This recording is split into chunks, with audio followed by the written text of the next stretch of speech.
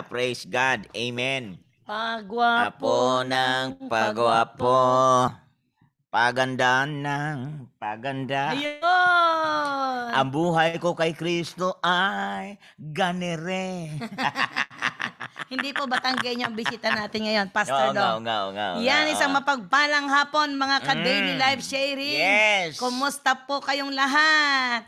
Wow, mukhang yung iba ay nasa bakasyon pa. Oo. Halina po kayo, minsan pa magsama-sama tayo Oo, sa isang napakagandang programa na inihanda ng Panginoon para sa ating lahat. Amen. Matuto tayo, makinig tayo. Salamat sa maraming palakpak, Ate Imelda Hakilmo Yes. ng Masbate. Yun. Yun. Hallelujah. Nakakamangha, Pastor Dong. Ang ganda naman ng ating talakayan kahapon, Pursuit of Excellence. Oh, yeah. Imaginein mo, Pastor, ang Ah. sabi niya, walo silang magkakapatid, ha? Mm, mm. Walo. Tapos, nangarap lang naman siya na mag-aral. Oo nga. Ah, kaya lang, ay yung pangarap niya, hindi ganun kadaling maaabot. Oho. Dahil ang tatay niya ay hindi siya sinamahan. Mm.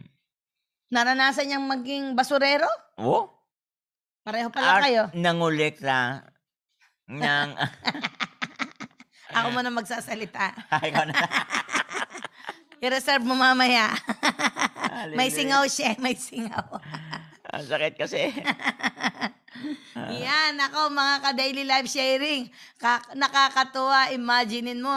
Sabi niya, parang napaka-imposible nung kanyang pangarap. Ay, nasaan yung pursuit of excellence doon? Mm. Nagsimula ang pursuit of excellence dahil sa pangarap. Yes. Batang-batang nangarap, yun ang binhi. Nagsimula sa pangarap. Amen. Amen. O kayo mga ka-daily life sharing, meron ba kayong naaalala? Pero bago natin interviewin si Dr. Alex at si Pastor Alita, tanungin muna nga natin si Ate Zali at si Maji. Oh, yun, yan, Yan, yan, wag yan. nating palalampasin. Okay, okay, okay. Kasi si Pastor Dong hindi makakanta. eh. Oh, hindi eh rin pag ako. akong kumanta, baka sumakit ang ulo nyo. Pag ako nagsalita, ngongo kasi. Yan, Ate Zali. Pwede bang ikaw na lang muna? Hindi, diyan ka lang. Okay. Diyan ka lang. Ate Sally, maaari ka bang magkwento sa pangarap mo? At tingin ko, nangyari din sa'yo to eh, pursuit of excellence. Aha. Sige nga, Ate Sally. Salamat po, Pastora. Um, ako po ay talagang bata pa lang po ako ay nangarap na po ako na isang araw ako ay magkakaroon ng isang magandang bahay. Ayan. Yan. At alam niyo po, dahil nga sa murang edad ko at dahil ako'y lumaki sa hirap, nangarap din po ako na yumaman Yan. at makarating po sa ibang bansa at syempre makapagtapos ng aking pag-aaral. Yan. At tunay talaga na hindi pa nga hindi pa man ako kumikilala ng Diyos. Ako sa Diyos ay talaga namang ang Diyos ay sinamahan pala ako ng Hmm. hindi ko alam. Dahil ang Hmm. pangarap na inilagay ko sa puso ko ay talaga namang nailagay ko pala sa isang napakalaking pangarap ng Diyos sa buhay ko. Kaya yung mga pangarap ko noon, ngayon ay tinatamasa ko na. Kaya dahil po doon ako'y naglilingkod sa Diyos. Ano ba yung Wow. pangarap mo maliban sa bahay at anong ginawa ko mo? maging isang guro. Oho. At ngayon po ako po talaga ay isang guro by profession. Ah, Wow, wow. Pareho kayo ni Dr. Alex. Magandang mag-uusap kayo mamaya, ha? At hindi lang yon ano ba ang mga naging award mo bago ka naging guro? Ako po ay, nung ako po ay elementary, ako po ay valedictorian. Kaya po Yan. ako nakapag-aral ng high school kasi po Mhm. ako ay naging scholar. Ayan. Mm. At nung ako naman po ay nag-graduate ng high school, ako po ay valedictorian uli. Yun. At kaya po ako, nag-grant po ako ng isang scholarship po para sa aking pag-aaral sa kolehiyo. Yun. Kaya po lahat ng meron ako, biyaya talaga ng Diyos. Mm. At nung nag-college ka? Ang nag-college po ako, graduate po ako ng Bachelor of Secondary in Edu- Education. High school po ang aking ah, ang aking po license ay high school po ako. At ako Aha. po ay graduate ng cum laude. Yeah. Grabe yun. no? wow! Di ba? Ang mga host natin sa daily live sharing, kamangha-mangha, nakikinig lang siya noon, Pastor. Bigate. Opo, sabi nung nanay, nung mga anak niya at ng asawa niya, Pastor Dong, Pastora May, ibabad niyo na po sa daily live sharing ang mama ko. ang laki po ng ipinagbago. Ala. Bumait po. Bawa- Tignan mo, di ba, ang programa natin, nakakabait. ah. Nakakabait ng mga matatalino. Wow! At ikaw naman, Ate Maji, kumusta ka naman? Aha. Good afternoon po, Pastor Dong, Pastor May, at sa lahat po. Ayan po. Ako naman po, ah, nung bata po ako, pangarap ko din po talagang maging isang teacher, maging guro. Pero, um, sa family po kasi namin, halos lahat sila guro na. Kaya sabi sa akin, mag-iba ka naman ng course. Kaya ang second choice ko po ng course noon ay Business Administration. At yun nga po ang aking kinuha nung college. Pero sa pag-aaral ko po, hindi po naging madali. Kasi um, lumaki po ako sa broken family. Nagkaroon ng Mm. ibang pamilya ang aking nanay. So, medyo financially nahirapan kasi hindi naman po nakapagtapos ang tatay ko. So, hindi po, in short po, walang magandang trabaho na may i-offer niya mag- na magpagtatrabahuhan niya. Pero salamat sa Panginoon kasi may mga taong ginamit siya na para tulungan ako sa pag-aaral ko. Yun po yung mga kapatid po ng nanay ko at saka tatay ko. So sila po yung nagpaaral sa akin mula elementary hanggang makagraduate po ako ng college po. Sila po yung nakatuwang ko sa pag-aaral ko. Wow. Ilan yung, kap- ilan yung naging anak ng nanay mo sa iba? Bali, nine po sila. Sa amin po, Oh. tatlo po kami. Oh. Pero sila, tat- nine. Original kayo, tatlo, siyam. Pero Opo. tingnan mo, paano kang nag-excel sa buhay mo sa gitna ng pangit na naging kwento ng pamilya mo? Um, para po sa akin nung bata po kasi ako, nakita ko na yung hindi magandang nangyayari sa paligid. So, sabi ko po noon sa sarili ko na ayoko pong maranasan yung ganong, ganong buhay na nakikita ko sa paligid ko. So, Hmm. ang pinangarap ko po talaga noon, makapagtapos po ako ng pag-aaral, makapagtrabaho po ako sa maayos na company. And nangarap po talaga ako na, na magkaroon ng masayang pamilya na hindi ko po naranasan. Siyempre po, um, bilang bata po noon, marami, kumbaga nag, naghahangad ako ng pagmamahal po sa isang pamilya na hindi ko po naranasan. So, more on sa labas po, sa labas ko po nakita yun sa school, sa mga kaibigan. Pero hindi ko po ginawang dahilan yun para maging pariwara yung buhay ko. Ginamit ko po yun para mas kumbaga magkaroon po ako ng motivation na mas mapabuti yung yung buhay ko kasi nahihiya din po ako sa mga nagpapaaral sa akin. Siyempre bilang balik po sa kanila yung ayusin ko po yung pag-aaral ko, yung buhay ko po. Yun lang yung Wow. para para sa akin yun lang po yung magandang kabayaran na maibabalik ko po kasi sa kanila. Kaya- No. Ayun po, kahit na mahirap, talagang inayos ko po yung buhay ko para sa kanila. Wow. Wow. Amen. Yan ang real life, real talk, mga ka-daily life sharing. Yes. Kayo Amen. po ba, meron din po ba kayong kwento katulad nito? Imaginein mo, hindi ibig sabihin, pangit ang iyong pinanggalingan, ay pangit din ang iyong magiging bukas. Yun nga. Yan, narinig natin sa kanila. Galing sila sa WW. Oh, ano yun? Walang-wala. Ayun. Ngayon, tignan mo, pinagpala na sila. Yan si Ate Zali, may resort yan, may farm yan, o, di ba? Oo. Dahil sa pangarap, ang ganda ng ginawa ng Panginoon. Yun. Pursuit of excellence. Salamat po sa inyo, Ate Sally. Salamat, Ate Maji. Pagpalain kayo ng Panginoon. At Amen. ngayon, Pastor Dong, Oo. kaya mo ba? Hindi talaga. Kaya. Di Hindi. bale, huwag kang mag-alala. Dinitiis ko lang. Ah, andyan kasi yung doktor eh. Doktor yan eh, doktor. Ibig Ah. sabihin, pagka-doktor, eh, batikan to. Ah, Ah, eh, kaya-kaya na niyang gawin yung ating programa. Ay, ay, ay, ay, Ah, ay, ti- yan. teacher ko yan eh. Ah, ah, teacher. Dahil teacher, kaya lang siya nagsasalita. Ah, Oh, na sasagot siya. saga Ako ang estudyante niya, ako taga-tanong. Ah, Baliktad dito sa daily life sharing. yung teacher ang tinatanong. Sir, answer the question. Pero iba naman to, Pastora. Ibang angle naman. ito. Oh, walang personalan, sir, Ah. ha? Trabaho lang. Ito, angle, ang, ang, ano ba yan? Ikaw na lang nga lang. Ay, naka. Ay, pinagpala. Sabi, Pastor Dong, magpahinga ka daw muna kasi salita ka ng salita. O, ba't- My turn! Dahil na nga, shout out muna ako Mm, sige. kay Bishop Raymond Ladao. Oh, wow. Hello, nabigyan. Bishop. Ah. Makinig ka. Ah. Sa susunod, ikaw na ang i-interviewin namin dito. Oo nga, oo nga. Yan, Oo nga. okay. Sige Okay. Pastor Dong, atin nang ipakilala sa buong mundo ang mga lingkod ng Diyos na mga batikan pinanday ng panahon, natuto sa kahirapan, nangarap na isang bukas ng napakaganda at sino makakaalala, makakaalam, ang basurero noon ay doktor na ngayon. Oo nga. Wow. ang nga. magnanakaw noon Nang ampalaya. ng ampalaya. Oh, sa puno ng naging biyanan niya. Ang saya na.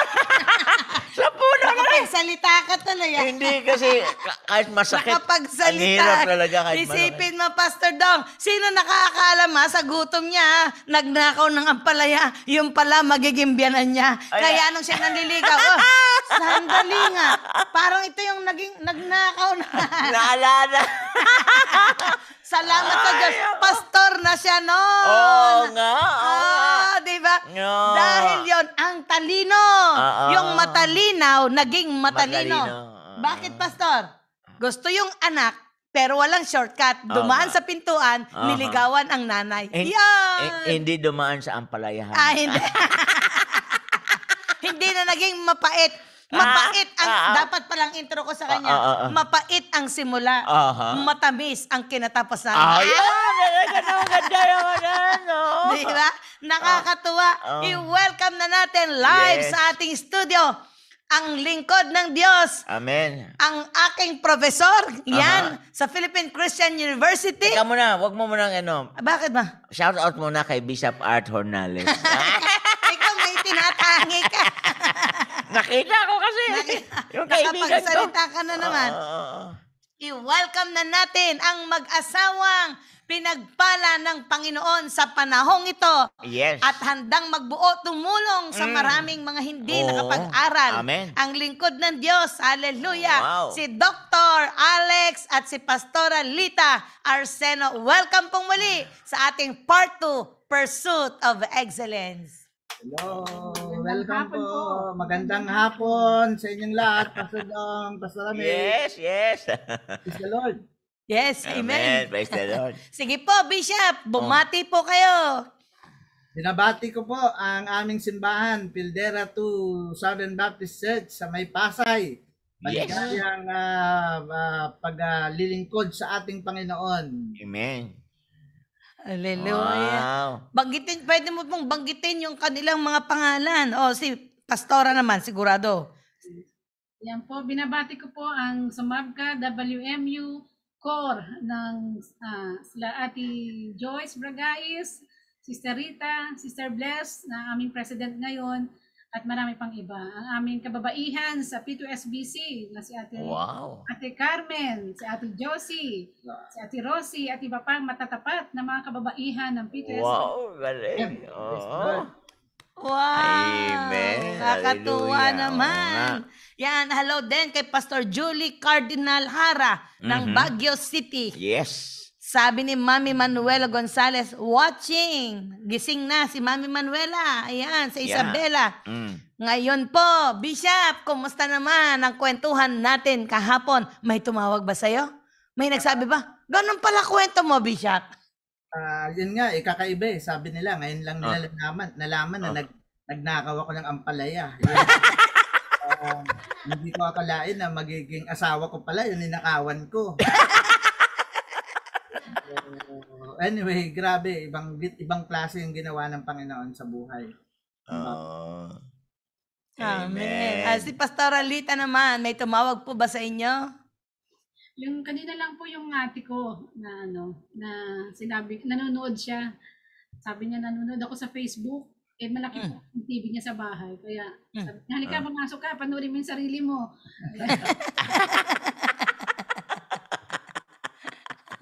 ano pong reaction nila nung kayo'y napanood? Sabi nga po nila, sabi po ng ate ko, eh, artista na raw ako. At tuwan-tuwa na rin po yung bayaw ko kasi yung pamangkin ko po yung nag, ano, yung nag-open ng laptop, eh, yung laptop through TV na napanood Ah. din ng bayaw ko. At nakita ka niya, Pastor Dong, sabi niya, kilala daw po niya kayo, na-meet na raw Ah. po niya kayo. Matagal na panahon na. Yeah. Oh, sabi, at ah, na-bless po siya sa sa gawain ninyong mag-asawa at tunay na Amen. na, na nanood pa, nung pag-alis ko po, patuloy silang nanonood ng pamilya niya. Ah, Wow, grabe. yung magandang mensahe na yan. Kaya sabi ko, may, meron po yung kasunod at panoorin niyo rin po, sabi ko. Wow, galing naman. Talaga Yeah. naman, oh. Oo, sige nga. Oh, oh, deka, teka, ha? babalik na tayo kay Bishop na, doktor pa. Oo nga, oo nga. Nasa kanya na lahat eh. Martin Deso, ang daming natutulungan. Ang dami. Ayan niya, oh, ang daming comment. Ang Ah. ampalaya, baw, sabi ni Samuel Sirel. sabi ni Bea Dobiar sa, Bea Dobiar sa France, nang dahil sa ampalaya, baw. May tawa pa eh. Kaya nga, mapait ang simulain, Oo. matamis ang pinagkatapusan. Oh, Yan. hallelujah. Tama yan. Amen. Ngayon po, Bishop, kahapon, habang naaalala mo, nasasariwa niyo po, yung napakagandang kwento ninyo, nasa simula, napakamasalimuot. Yan, may nasariwa po ba sa puso ninyo?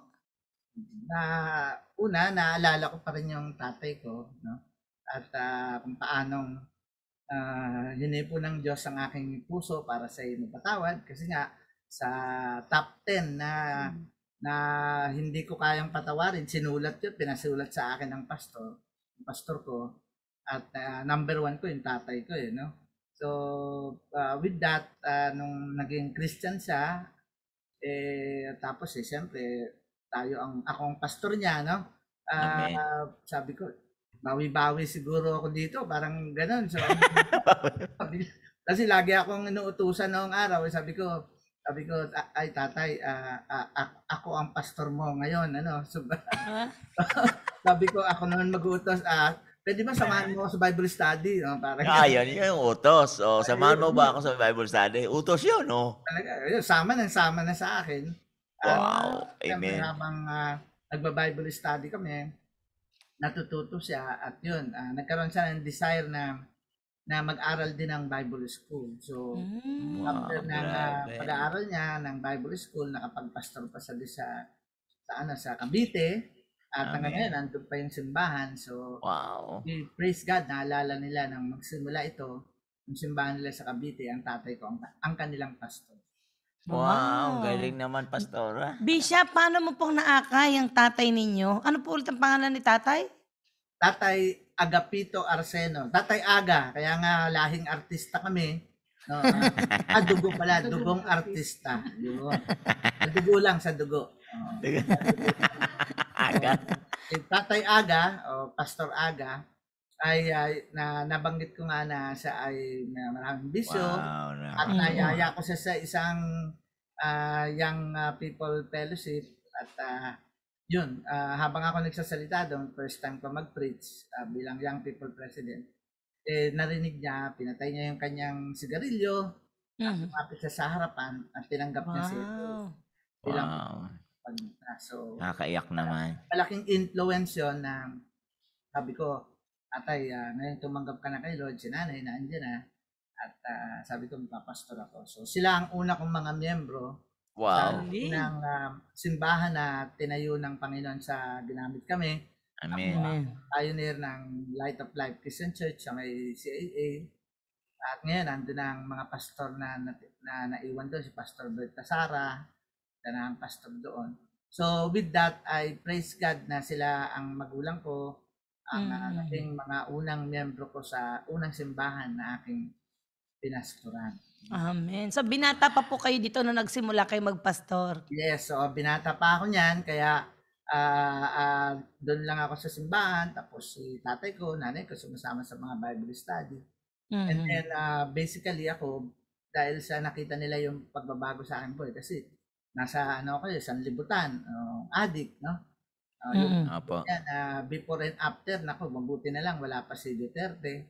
nung dumat kung, kung naandyan si Duterte, nakita niyo naman yung picture ko dyan sa bilang Ayan po. Pakita. Kasalukuyan pong nakikita ng buong mundo. Sino po kayo? Yan picture niyo, no? Ano po ba yan? Kayo po ba yan, yung payat? Ilan taon po ba kayo dyan? mga yan, ma-addict ka pa niyan, no?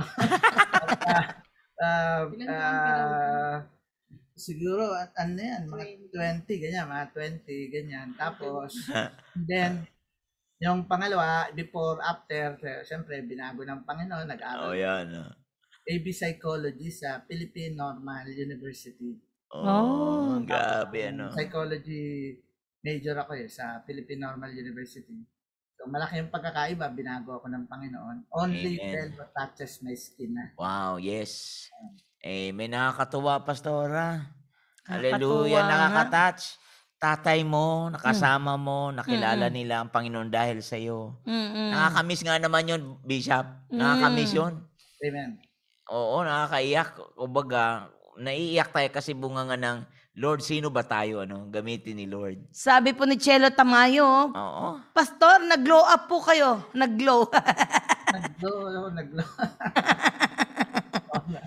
Sabi ni Yolanda Hiyaw, grabe po ang transformation ninyo, Pastor Alex. Pogi po ninyo ngayon. Naging pastor pa. Ba't hindi niya sabi noon? Hindi niya sabi sabi nga ni Pastor Dong, hindi lahat hindi lahat ng pogi nag-aartista, di ba Pastor Dong? Oo, oo, oo. Nagpa-pastor din. Ah? Para daw po kayo nag-glutatayon. sabi ni Chelo Tamayo, joke daw. Mukhang sa picture mo, Pastor, hindi ka iuwan ng buhay. Ay, nako. wow. Pero nakangahanga si Lord Pastora. Amen. Nakakatuwa naman. Nakangahanga si Lord. Sa Okay. madalit sabi po, ah, Bishop, nakatapos po talaga kayo ng college.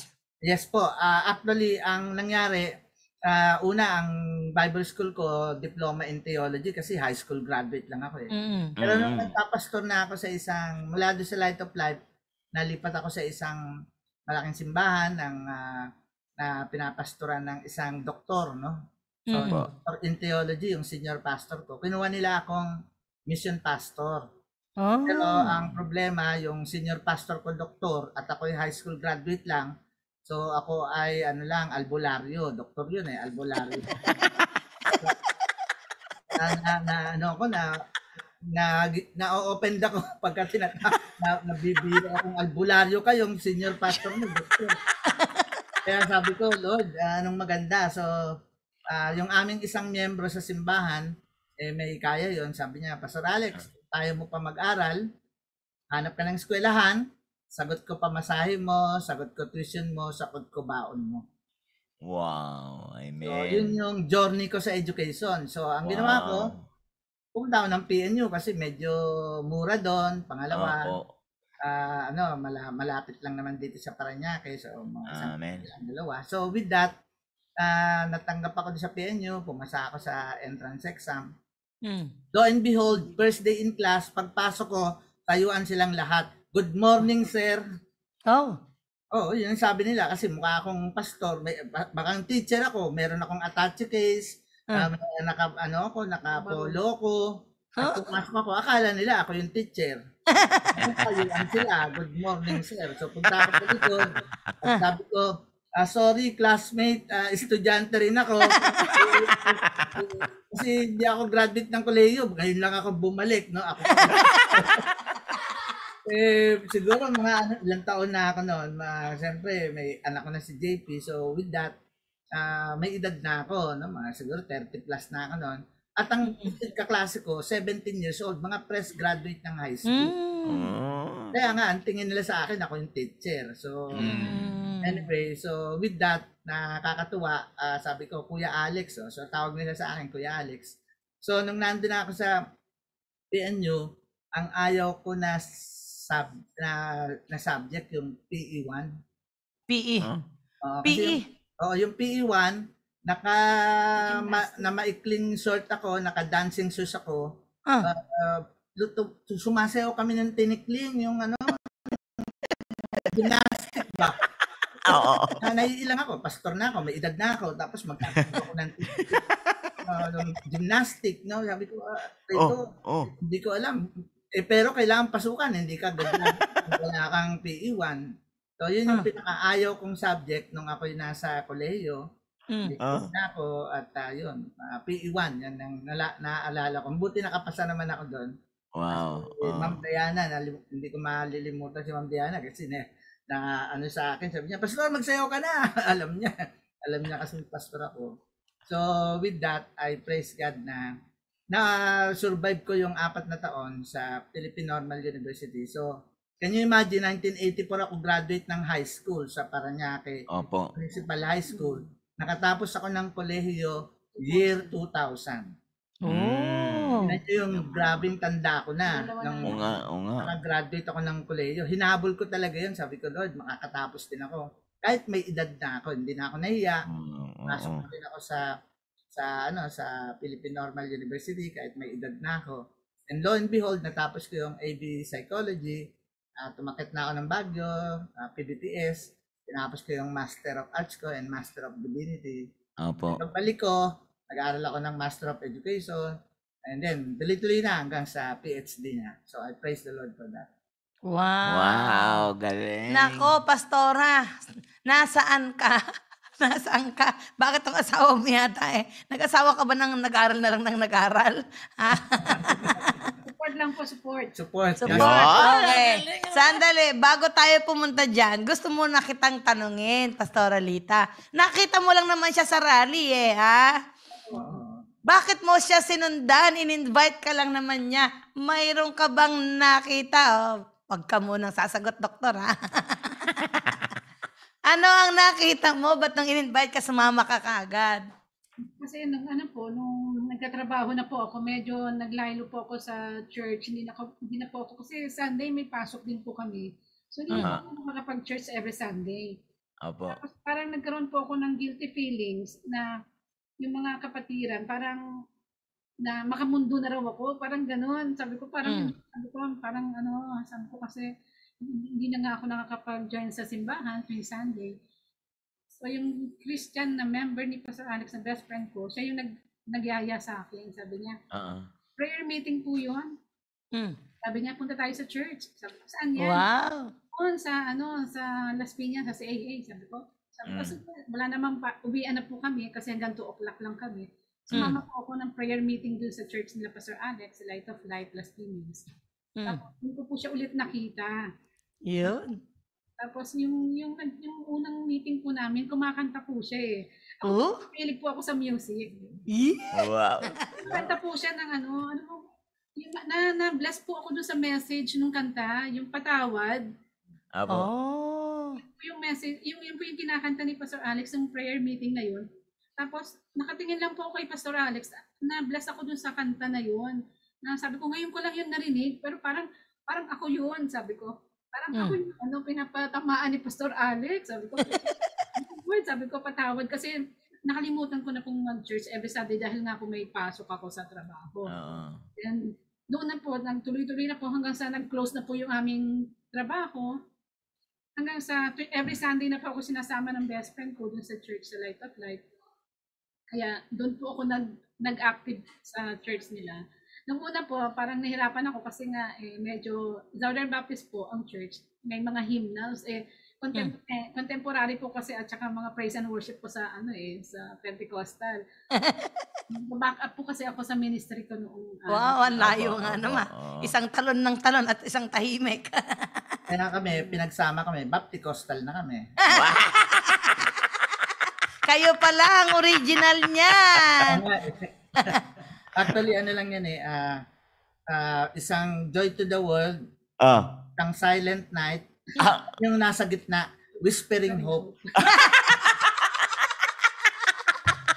ang galing. Ang galing. Ang galing mo, Kayo, Bisha. kayo pala yung dalawa. Nasa Kayo gitna pa- kami, Whispering Hope. Yun. Kayo pala ang revivalist ng Baptist at ng Pentecostal. Kaya tinawag kang Baptikosta. Ay, nako, ang hirap Ang saya. Ay, Sige, nako. Pastora, paano kang... Teka nga, sino ang nahawa, Nino? nahawa po ng Nahawa. Sino natangay sa inyo? Natangay. Natangay. Natangay ka ba ni Bishop? Na- Ano Na-attract, ba na-attract. Oh, parang na, sino na-attract, di ba? Oo, oo, oo. Oh, oh. Na- ah, na-attract, na-attract po ako doon sa Boses. sa, sa boses ni Pastor sa, sa message ng kanta niya. Oo. So, Oh, nag- oh. nag- nag-decide po ako at ang aking nanay, na born again po kasi yung nanay ko. Kasi Ah. ako po yung unang na born again sa amin. Mm. Sa nanay ko. Kasi ang nanay ko po, may kumare na taga, taga Santo Niño na nag-share sa kanya at sinasama Mm. siya sa church. Mm. Lopez, turn on to Jesus pa po. Mm. Sa Lopez, may gawain po kami dyan. Mm. Yung kumare ni nanay, active po siya doon sa Sister Senny. Eh ayaw Oh. ni nanay, nang dumating ako, kasi nag, nag ano po ako, party goer po ako nung araw. Oo. Ang Friday po, gumagawa ako ng paraan, nag-iipon ako sa baon ko para makapag, makapag-attend ng party. Mm. Atin po din po ako ng disco, mga kabarkada, nakabarkada na nga po ako eh. So, Mm. ano, sabi ng nanay ko, Friday, sabi niya, Lita, pumunta ka, pum- sumama ka kay sister, ano, prayer meeting na naman yun, prayer meeting. O kaya, sabi niya, sa, sabi ni sister Zenny, ah, sa Sabado may LSS, sabi niya, pumunta ka. Mm. Ayoko po, ayoko po kasi, ayoko pong mag-commit kasi nga, ano pa ako eh, enjoy na enjoy ako sa pagiging young people ko nung araw. Oo.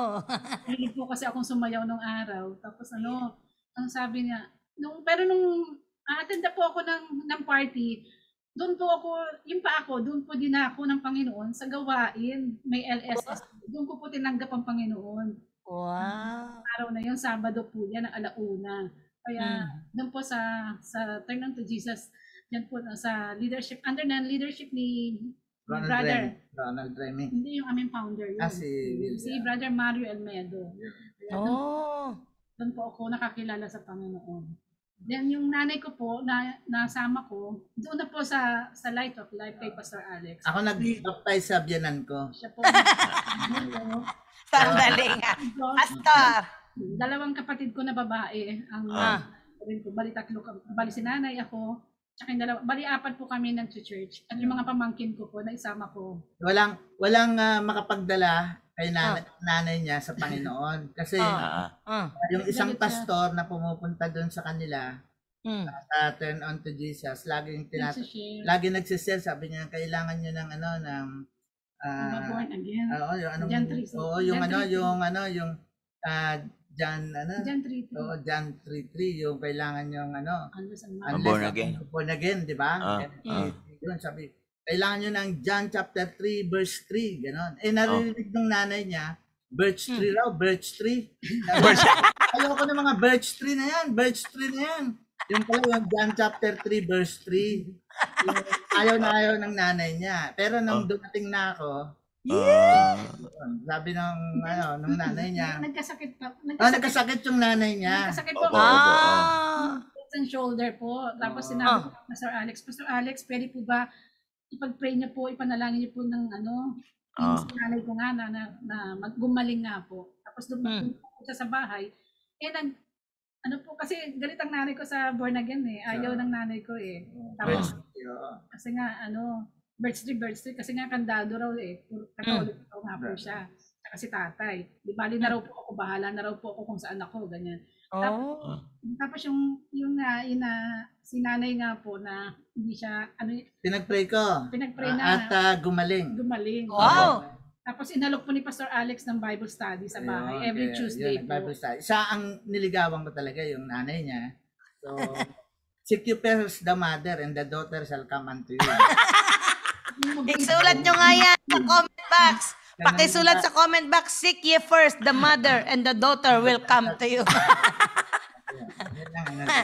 Ang galing, ang galing ng doktrina mo ha. Evangeligaw. Sabi po ni Daniel, evangeligaw sa nanay. Ah, ah. Anong verse ito po yung Bible mo, Bishop? Hanggang Seek naging first the mother. hanggang hanggang naging Bible study. Ah, Kaya, kaya yung nanay niya, yun, tuwan-tuwa, sabi niya, sige, nagpapabaptize ako, yun, binaptize ko yung Ah, ah. kinan ko, kaya yun. Dire-diretso na, blessing na ng Panginoon. Ang galing. Ah, pero si Lita, siyempre, sabi niya, um, na-attract siya sa akin sa boses, no? Pagkanta ko. Kaya pag tinatanong siya, ah, gwapo ba yung boyfriend mo? Hindi, maganda boses. gwapo ba yung boyfriend mo? Mabait yun. Mabait yun. Ah, ngayon na lang ako, ano, ah, pinagwapo ni Lord. Gwapo ba yung mister mo? Ay, gwapo mo yung boyfriend mo. Maganda boses. Ganda boses. oh, Ganda boses. Oh. Mahusay kumanta. Mahusay kumanta. oh. Bishop, pa-sample daw. Ah, sample Sample ng Ah. boses. Sample daw ng kanta. Ano, ewan ko kung kaya ko pa, no? Ah, ano bang kanta yun? Um, yung chorus na lang siguro. Ah, sige po, sige. Um, eh, ano bang chorus natin? Ang buhay ko ngayon walang kasing ligaya. Ang dati kong anyo ngayon kanyang binago na. Tangan ko'y kaligtasan na isisigaw sa mundo. Sa bisig ni Jesus mahihimlay ang puso ko. Galing! Ang ganda. Mabibighani nga naman. Tama, Pastor Dong. Ah, pogi ba pogi ba asawa mo? Hindi, maganda boses. Ito ang sagot ba? Yun lang, yun lang. Si Maria Rason, saya-saya rito. First time ko narinig na tawa ng tawa. Bawal ang tawa. ah, nako, wag Ay, na. nako. Oo. Oo. He's got the voice. Hindi na, he's got the look. Klase, praise the Lord. Tip number two mula kay Bishop. Oh, seek, seek first the Seek ye mother. first the mother and, the, daughter, will be added to At saka, he's got the voice. Oh, Ayan. Grabe naman. Ah, sabi ni Pastor Joe Hernandez ng Batangas, oh, sana all ang mga pastors ay maganda ang boses. Wow. Sabi tuloy ni Pastor Walter Faustino, Wow! Yan po ang boses. Oh, kita mo? Ah, galing. Grabe. May anointing sa pagkanta si Bishop. Isip. wa- wa- wala bang comment na ang gwapo? Wala, walang ganun. Wala po, puro ang ganda ng boses. Ano na magkasabi sa'yo nun? Ah, ganun ba? Maawi ka mga anak eh. Ay, may nagsabi na po, ang apelido Ilaw. La Arnie Ilaw. Guwapo po. Ah, talaga naman ah. Ah, grabe. Plus pogi points po pag maganda ang boses. Wow. Ayun naman pala. So maliban doon, Pastora, ano pa po yung nakita ninyong ano, katangian ni Bishop? Bakit mo nasabi na ito na nga talaga ang lalaking ibibigay ng Panginoon sa akin? Noong una po talaga, sabi ko, Panginoon, kasi sa itsura talaga, syempre kapag young people ka, ang gusto mo, kabataan din, di ba? Itsura talaga inuulit eh. Kasi mahilig po Itsura. sa mga lalaking, ano eh, chinito. Eh, si Hindi ako chinito. Malaki ba? Hindi naman, ang tawag sa ano, sa ah, Ah. hindi chinito, Pastor Dong. Oh. Malaki mata. Hindi alam. Dilat, si Dilat. Nakakatawa. Ang tuwa talaga. Alam mo, hindi ako makapagsalita gaano, Bishop, pero talaga. Sabi ni Jairus, napaka-pogi po kapag maganda ang boses. Oh. Oh, nakakapogi pala. Sabi po ni Pastor Joe Hernandez, oh, ling- Bishop, kasi lingkod na po kayo ni Lord, kaya nagwapo na gawa ng anointing at liwanag ni Lord. Wow. Amen. Galing, galing, galing. Mm. So, Ang maliban galing, po galing. doon, sige nga, Pastoralita, kwento mo. Oo nga, ikaw nga. I- itinanong ko nga po sa Panginoon, Panginoon, kung siya po talaga yung ibibigay niyo bilang asawa, mapapangasawa ko, sana po mabago po yung itsura niya. Talagang hindi ko po talaga, talagang specific po talaga. Kasi sinabi po sa akin ng leader namin doon sa retreat, Oh. Specific kapag nananalangin ka, ganyan. Sabi ko, kasama po yun sa prayer, ano, prayer request na inibigay ko po doon na mag- gusto ko Oh. mapangasawa ng isang leader, nakikita ko po siya sa harapan at ano, siya yung mag encourage sa akin na magpatuloy sa Panginoon. Yun po Ah, yung ah. ng young people ako.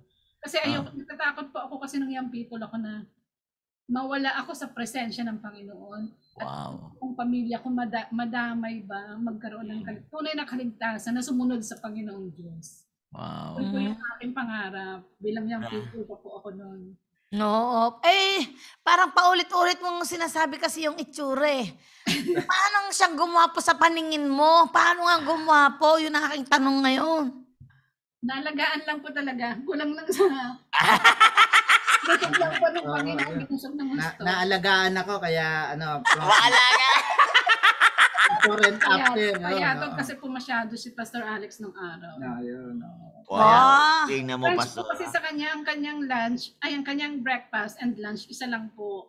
Oh, Wow. kulang sa pagkain. Lang, oo. Kaya pala nagpapapangit ang malnutrition talaga. O pagkatapos, pinakain mo. Ayan. Kasi nga po si nanay, mahilig magluto. Kapag pumupunta po si Pastor Alex every Tuesday na sa Sunday, ah, sa Bible study sa bahay, Lita, Hmm. bumili ka ng ganito, ng manok. Iprito mo, paborito ni Pastor Alex yan. Lita, darating si Pastor Alex, ang gano'n ka, mag, gano'n, lagi pong may preparation na ang nanay kong ginagawa kapag darating ng Bible study namin sa bahay. Mahal na mahal ako ng biyanan ko.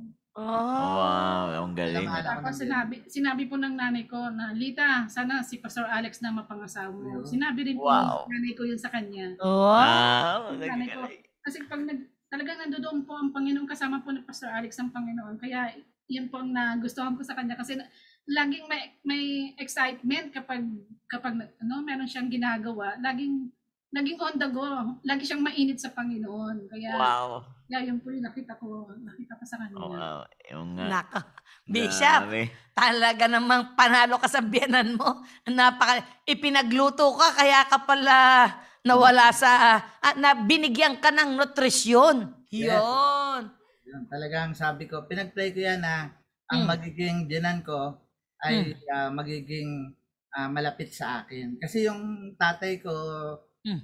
kwento-kwento ng pamilya nila, Mm. parang laging magkakaaway sila, yung biyanan niya, kaaway niya, parang ano, parang walang ano, pag nagkikwentuhan sila, Ah, ah, parang hindi maganda yung relasyon nila sa biyanan. Minsan na itanong, ang ano ano ang tawag sa nanay? Ilaw Mm. ng tahanan, yung tatay, haligi ng tahanan. Eh, yung biyanan mo, anay. Yun, anay.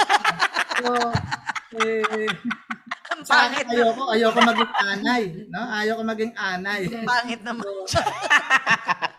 Kaya yung biyanan ko, blessing sa akin, hindi anay. Yo, wow. yun. Amen. Parehong, May iba anay, pero sa akin hindi. Ano, blessing. Oh, yun. grabe. Parehong pareho kayo ni Pastor Dong. Ang una nang niligawan ay nanay ko. Sabi niya sa nanay ko, Nay, pag nagustuhan ako ng anak mo, payag ka bang manig-manugang ako? Sabi ng nanay ko, pag nagustuhan, sa ilong daw lumabas yung boses. Niligawan ni Pastor Dong yung kapatid kong bunso. Maricel, samahan mo ako manalangin na magustuhan ako ng ate mo. Huwag mo munang sasabihin. Kung kailang sinabing huwag sasabihin, lalong sinabi, nilayuan ko nga. Wala na nga. May mukha nga. Napilay naman. Bishop, pareho lang din kayo nito eh. May boses. May boses. Pumikit na lang. Yan mo ang alam natin. Wow! ng ating Diyos. Pa- partida yan ha, may singaw yan. Ha? May singaw. Pastor Alita, parang pareho tayo ng kwento ah. Ay, nako! Baka naman ang lengguwahe natin ay pareho. Pag pumikit ka, wow, heaven. Pag nagbulat ka ng mata, nagkaganito. Bakit nagkaganito? Pasan ko ang daigdig, Pastor Alita. Ang pait naman At ng mga... least sa'yo, nakakalakad, nakakatakbo, nakakamaneho. Ito wala eh, pasan talaga. Ang pait naman ng inyong description. Talaga mapait Real life talk, mga ka-daily life sharing. Talaga yan, oh, mapait. Oo, grabe. Pait. Pa- Paplanuhin namin ni Pastor Dong, magano kami, ko-concert kami dyan sa ano. o sige, sige. Oo, ganda nun. ano? Magko-concert kayong dalawa. Oo. Sige, ang lalagay namin sa labas, ano, warning sa inyong pakikinig, kailangan kayo po'y nakapikit. Bakit? Ang concert naman hindi pinapanood, pinapakinggan ah. meron kaming, ano, meron kaming free na salamin na Oo. bago pumapasok, binalagay doon, hindi ka makakakita sa loob. Talaga makikinig ka lang. Oo. Oh, kasi 4D yun eh. Kapag walang salamin, hindi nakikita yung picture eh. Ay, nako, saya, Ay, saya. hallelujah. Sabi ni Samuel Siruela, babaeng marikit, pag lumingon ka sa akin. ano yung kanta ba yon? Bigla tuloy nagkaroon ng, kan- ng concert. Sabi ni Leia Punsyon, kasama ako dyan, pastor. Back up. Nako, baha na naman.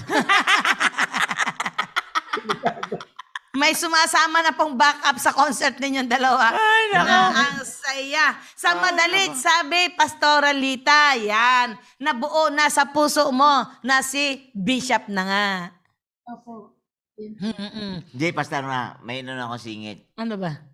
Kasi, yung panalangin ni Pastoralita, napaka, napaka-sharp. Mm, nga. Gusto ko, Lord, na di ako mawala sa presensya mo. Yo. Yun ang pinakamayamang panalangin eh. Mm, no? Yun Pero ako, hindi ako presensya. nanalangin ng ganon. Sabi ko, Lord, ayaw ko talaga. Sabi ko kay Lord, baguhin mo yung boyfriend ko. Doon lang tayo nagkaibang dalawa. Ang labo. Sandali, hindi tayo ang guest eh. Ah? Sila ang guest. Hindi, kinukwento ko yung, yung kanyang desire. Ayan. Presensya ni Lord. Ayan, okay na, okay na. Oo. Ngayon, nako, nakakatuwa naman. Kumusta, Pastora, yung araw ng iyong kasal? Kwento mo nga po sa amin yan. Na, nung araw po na aking na aming kasal, eh, una po yung namanhikan si si Pastor Alex sa bahay. Ayaw po sa kanya ni tatay kasi nga po, Oh. mahirap lang si Pastor at tapos kapag Hmm. nanamit si Pastor Alex, eh talaga namang nasabi Baduy. mo namang baduy. Baduy, baduy. Sabi ko, kaya panalangin ko, baguhin mo siya, Panginoon, sa itsura. Ganun. Ay, tsura na naman. Itsura at pananamit. Ang daming problema ni Pastor Alex. Ayun. Hindi po siya talaga gusto ni tatay. Tapos, Hmm. tinignan po siya mula ulo hanggang paa. Ah, Nabi ng tatay ko, kaya mo bang buhayan ng anak ko? Ayun ang tanong sa kanya ng tatay ako ko. pa yung tanong. Ah, tapos, po. Ayun po. Tapos nang sinabi, tapos matapang po, malakas po ang loob ni Pastor Alex, opo, kaya ko pong buhayan ang inyong anak. Sabi niya. Oh, Malinis po aking ano, ano, hangarin sa inyong anak. Kaya wow. po tayo pakasalan. Ganyan. Oh. Tapos nang mag tapos nang ano na, namanika na nga, nag-usap-usap na, may, nagustuhan na rin po siya ni tatay, wala na siyang magagawa. ah, hindi ako pupunta sa kasal niyo, Pastor Alex. Sabi niya. ah. Sabi niya, kung hindi mo, uwi- kasi si tatay mahilig uminom. Siman, siman kasi. Inalok po siya, inal, opo, siman po siya. Inalok po siya uminom ng alak. Sabi ni Pastor Alex sa kanya. Ah. Tay, tay, hindi po ako umiinom ng alak. Sabi niya. Soft drinks lang po ang inumin ko. Pag hindi mo ito ininom, hindi ako pupunta sa kasal mo. Sabi Ah. ng tatay ko. Hindi po niya talaga ininom yung, yung tagay. Sabi Oh. sige, hindi ako talaga pupunta sa kasal mo. Kasi pinanindigan ni Pastor Alex na hindi siya uminom ng alak. Sabi niya kasi, sabi kasi ng tatay ko, lahat ng born again napapainom ko. Sabi Oh. niya. Kaya, nung ano, nung kasal namin talagang hindi po nagpunta Ah. si tatay. Hindi po punta si tatay. Uminom po muna siya, nagpakalasing muna siya bago siya nagpunta pa rin. Ng, kasi nag, nagano po kami dalawa. Nag, nag ano, ano tawag yan? Yun. Fasting po kami. Nagpinag-pray po namin si tatay Pray na and fasting. nag-pray and fasting po kami dalawa ni Pastor Alex yung time na yun. Week, isang linggo na lang po kasi eh, talagang ayaw ni tatay. Tapos Mm. nagkakasal na kami, uminom po siya, pero nagbihis po siya. Pumunta po siya sa... Dumating din sa araw ng kasal, pero susuray-suray na. Pero at least umaten pa rin. Yan, Ah. tama naman. Tigang ko yon ah, hindi ako yung uminom. No? Kasi Mm. na ano ko na yun, na ilagay ko na sa sarili ko na dati, naglalasing ako. Pero nung maging Christian ako, binitawan ko na yan. eh. Oo Mm. nga. Ang Lang galing. sinuko ko na kay Lord yun. So, awa ng Panginoon yun. Ah, ah, yun ang aking ano, naging standard. No? At ah, nagustuhan ako din ng, ng tatay niya kasi may isang salita. No? At ah, pinanindigan ko yon na hindi ko pinabayaan yung asawa ko. Apo. Ay ah, nabuhay, nakita ng tatay ko na ng tatay niya na nagkaroon kami ng sasakyan, ng bahay. So, anyway, so parang ano, patotoo yun, na totoong ano, ah, ang sinumang lingkod ng Diyos, hindi pwedeng pabayaan ng kanyang pamilya. Amen. Amen. Talaga naman. Galing. Wow, kaya 28 years, at 29 years na kayong mag-asawa. Yes po. Yan. Parang ang daling pakinggan ng 29 years. Pagkatapos, puro kaaral ng aral. Eh, si pastor ang trabaho ng trabaho. Ganun po ba ang setup? Hindi naman po. Actually po, hindi naman po ako talaga nagtrabaho mula nang mag-asawa kami ni Pastor Alex. Mhm. Hindi po siya pumayag na magtrabaho ako. Ang sabi niya, mag-alaga po ako ng anak namin. Tapos sa ministry kami dalawa, Mhm. siya daw po ang bahala sa akin. Ako ang magtatrabaho para sa pamilya, sabi niya. Wow. Kaya ako po, taga, pag sinabi po niyang may decision siya, ipag-pray natin to, lagi po kaming humi- humihingi sa Panginoon, lumalapit sa Panginoon, ah, ipanalangin yung kanyang gagawing desisyon. Kasama po ako palagi. Tapos Sabi niya, mag-aaral ako ng ganito. Sige, kung pupunta tayo sa sa seminary, mag-aaral ako. Sige lang. Tapos ano. Tapos, Prayer, prayer. Prayer lagi po. Nagpupunta pa po kami ng prayer mountain. Tapos nung Mm. aming Amen. Nung nga po na ikinasal kami, nagpunta po kami yung honeymoon namin. Nagpunta po kami sa prayer mountain, dalawa. Mhm. Tapos pinag-pray ko po kasi na pareho kami maitim. Kasi sabi ko sa prayer mountain, nag-pray ako. Sabi ko, Lord, bigyan niyo po ako ng, ano, ng anak na maputi. Yung mga anak na pu- puputi. Pero isa lang talaga hiningi ko sa Panginoon. Tapos Mm. sabi ko, Lord, sab- sabi ko, bigyan niyo po siya ng isang, ano, isang gift. Yung hiniling ko sa Panginoon. Talagang napakabuti ng Panginoon. Sabi ko, sabi ko gano'n sa kanya. Kasi nung young people pa po ako, pag may mga major decision po ako tungkol sa sa tithes and offering, sa sa idolatry, lagi po akong ano, lagi po akong nag nagpa-pray and fasting po ako talaga. Yun po ang itinuro sa akin sa sa ano po, sa church ko na pinabibilangan ng aking young people pa. Ano ako yung young people pa na. Natuto po ako talagang manalangin. Yun po, yun po talagang natutunan ko sa nagpapasalamat ako kay kila Pastor Mario na doon po talaga ako nilalagay sa prayer room. Minsan tatlong oras po kami doon, nagpe-pray po kami Wow. service. Yun po ang aking naging ministry ng young people pa lang ako. Ah, talagang prayer na po. Hanggang up to now po talagang prayer. Lagi lang po ako lumulod sa Panginoon. Doon po ako humuhugot ng lakas. Kasi hindi po madaling magpastor, lalo na po sa malalaking simbahan na ang tingin sa asawa ko eh, dati hindi pa po siya nakapag-aral ng, hindi pa siya nakatapos ng pag-aaral sa college. Talagang dinadown pa rin po talaga pa rin, pa rin ang mga pastor. Kaya napakahalaga po ng decision ni Pastor Alex. Sa panalangin po, i-answered prayer ang Panginoon. Amen. Diyos ang nagbigay ng lahat. Ah, yung ang idea kasi ah, yung ang kagandahan sa asawa ko supportive Mm. siya ano, nasa likod siya Ah, na, Mm. lagi siyang ano um, ah, nalas, nasa likod ng isang matagumpay na lalaki di ba Wow. Wow.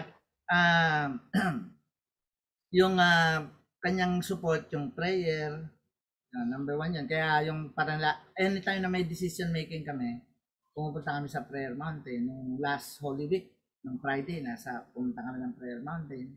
So may mga ano kami talagang laging partner namin yung ah, yung ah, activity yung ministry ng panalangin. So di sa prayer mountain pinag-pray niya nung na magkaroon kami ng anak na may gift no? Yung katulad yan si Pastor JP mga pastor. At pinag-pray niya na magkaroon ng itsura yung mga anak namin. Oh, kasi hindi nagkata hindi siya answered prayer sa itsura ko. Hindi. Pero sa mga anak bumawi, no? Itsura na naman. Bumawi sa anak, no? Na, ah, nakita mo yung, yung anak, ay kahapon pinakita yung anak ko si Jenreb. Diba? Ah, Ang gwapo eh. oh, Genesis Revelation yon pinagdugtong ko na. Kaya Jenreb yon Genesis Revelation. Oh. Alam ko sana, pagka nagkaanak ako nung noon ng lalaki, ang Ah. pangalan Timothy. Mm. Yung pag nagkaanak ulit ako sumunod, lalaki, second Timothy. Opo. Pero yun na lang, para shortcut lang. Genesis. Ge- Genesis to Revelation, Genrev. Oh, yun. Ano mga bata? Oh, Ganun gwapo naman kahapon eh. Gwapo eh. Na Gwapo, si JB gwapo. magandang lalaki din eh. Yung Si bunso mo, ang panganay mo. nakita, nakita niyo si JP, gwapo. Opo. Opo, gwapo. Ano mo nga eh, ka, ano mo, ang tawag niyan eh, parang photocopy mo eh.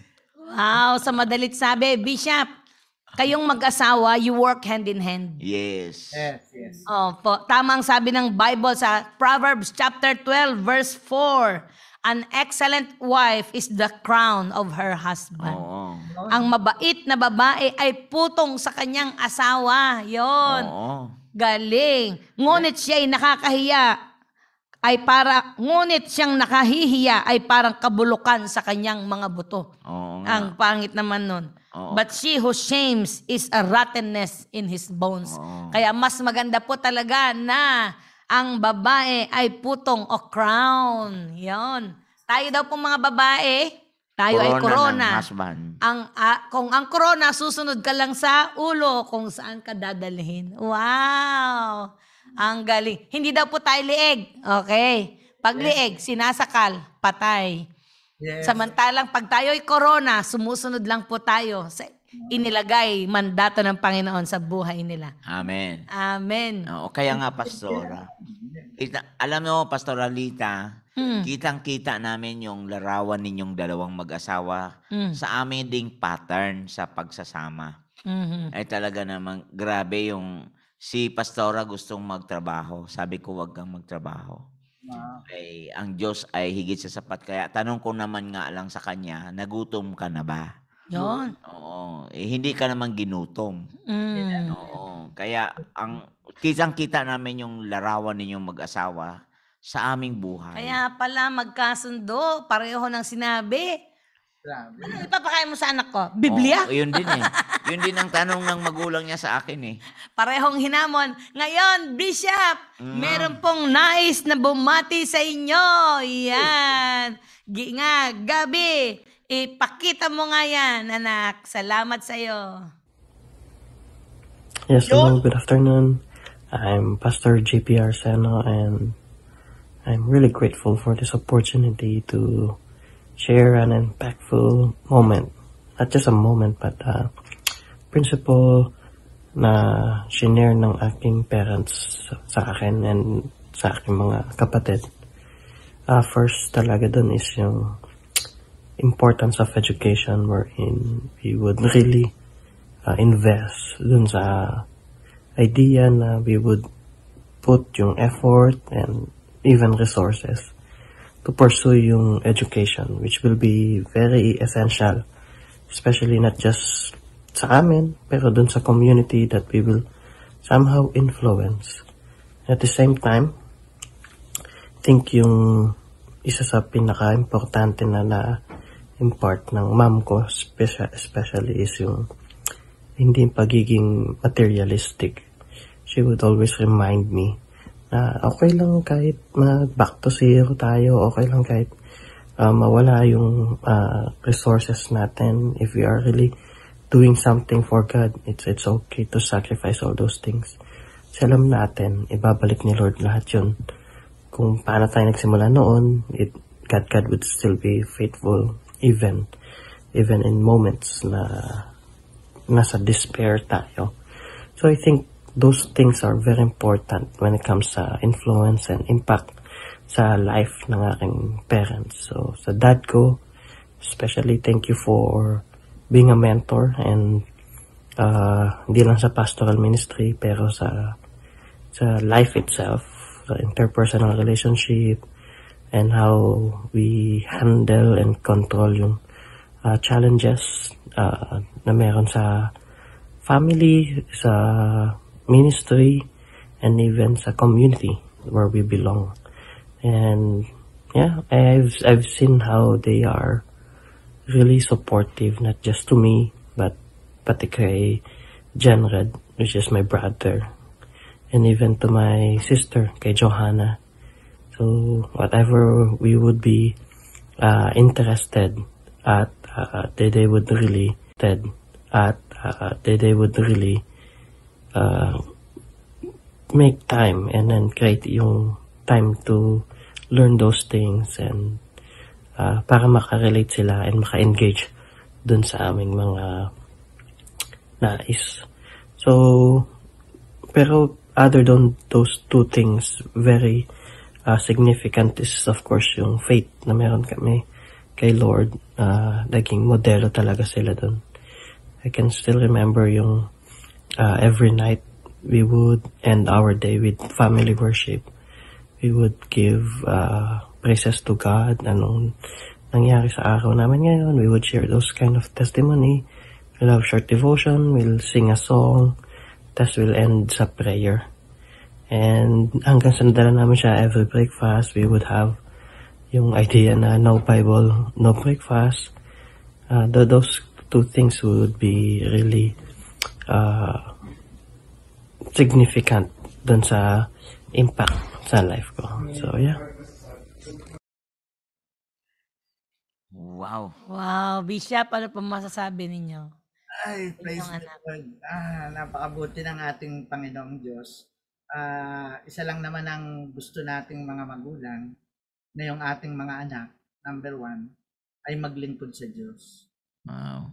Ah, hindi man ako perpektong ah, tatay, hindi man ako perpektong asawa, pero I make it a point na yung paglilingkod sa Diyos ay ay ano ay wag mawawala no? Amen. Ah, buhay at ah, pamilyang Kristiyano. Ah, yun ang ating ah, ano eh, ah, sikreto no. Huwag tayong mawawala sa paglilingkod sa ating Panginoong Diyos. So I praise God na ah, itong anak ko ay sumunod sa yapak natin. Ah, also a licensed teacher din siya at ah, ako at naging pastor. At hindi lang basta isang pastor na dito sa atin sa Pilipinas, sa ibang bansa, sa New Jersey. Mahirap yun eh, pero blessing ni Lord na siya ay tinawag bilang senior pastor sa sa church, sa Union Bible Community Church sa New Jersey, Amer- sa USA. I praise the Lord for that. Amen. Yan, Pastor Alita. Ayun nga po ang tinuturo ko sa mga bata. Hindi natin kailangan i-compromise yung ating pananampalataya. Amen. Totoong may Diyos. Malaking Diyos. Amen. Diyos na dumirinig ng panalangin. Hallelujah. Ang gusto ko lang po sa mga anak ko maging madasalin. Amen. Umasa sa Panginoon. At tumingin sa Panginoon. Dahil kami, hindi kami perfectong magulang. Sabi ko, Amen. Sa Diyos tayo titingin. Kahit sino pa yung mag-down sa atin. Basta yung pananampalataya at yung tiwala natin sa Panginoon. Yun, yun po yung importante. Hindi pa tayo yumaman. Sa material na yaman. Pero mayaman tayo dahil may may Panginoon tayo. Magpo-provide ng lahat ng pangangailangan. Amen. At ang edukasyon lamang po talaga ang sinasabi namin ni Pastor Alex na pwede namin ipamana sa kanila. Hallelujah. Amen. Praise God. Amen. Nako. Nakakaiyak. Ang gandang kwento. Sabi ni Daniel, talagang pursuit of excellence. Imagine mo, magkaroon ka ng excellent wife, crown of the husband, prayerful, ever supportive, si Pastora. Sa lahat po ng mga nakikinig sa programa natin, ito po ay isang napakagandang ehemplo Yes. Pakinggan po natin, ipadala natin sa napakaraming mga nanghihinang naglilingkod. Mm-mm. Tignan niyo po kung paano nagsimula si Bishop.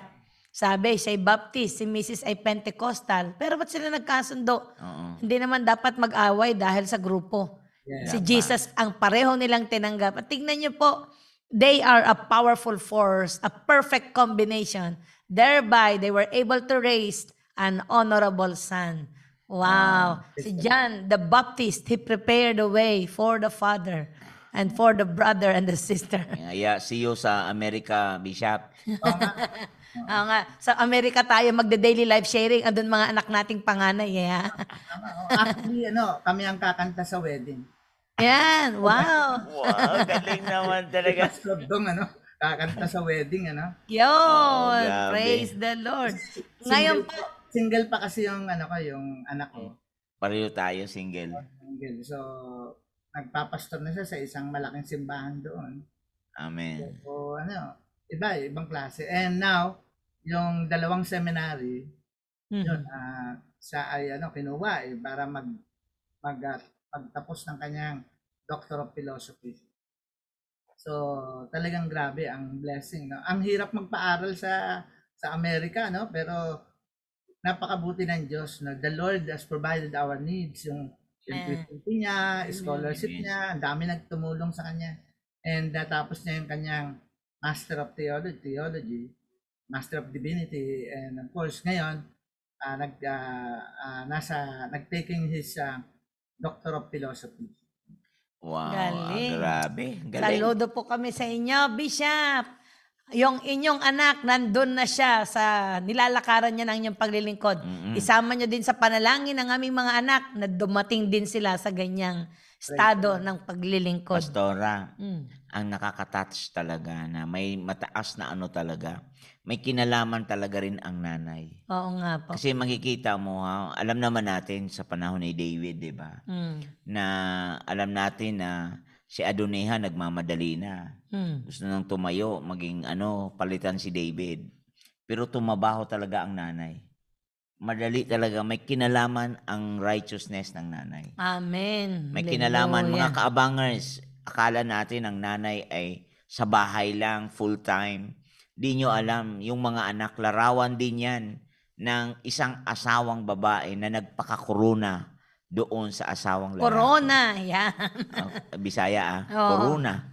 Corona. Okay. Yan. Salamat sa iyo, Pastor Dong. Sorry, sweetheart. Di na ako makapagsalita ah. Okay, okay. Ako na, ako na.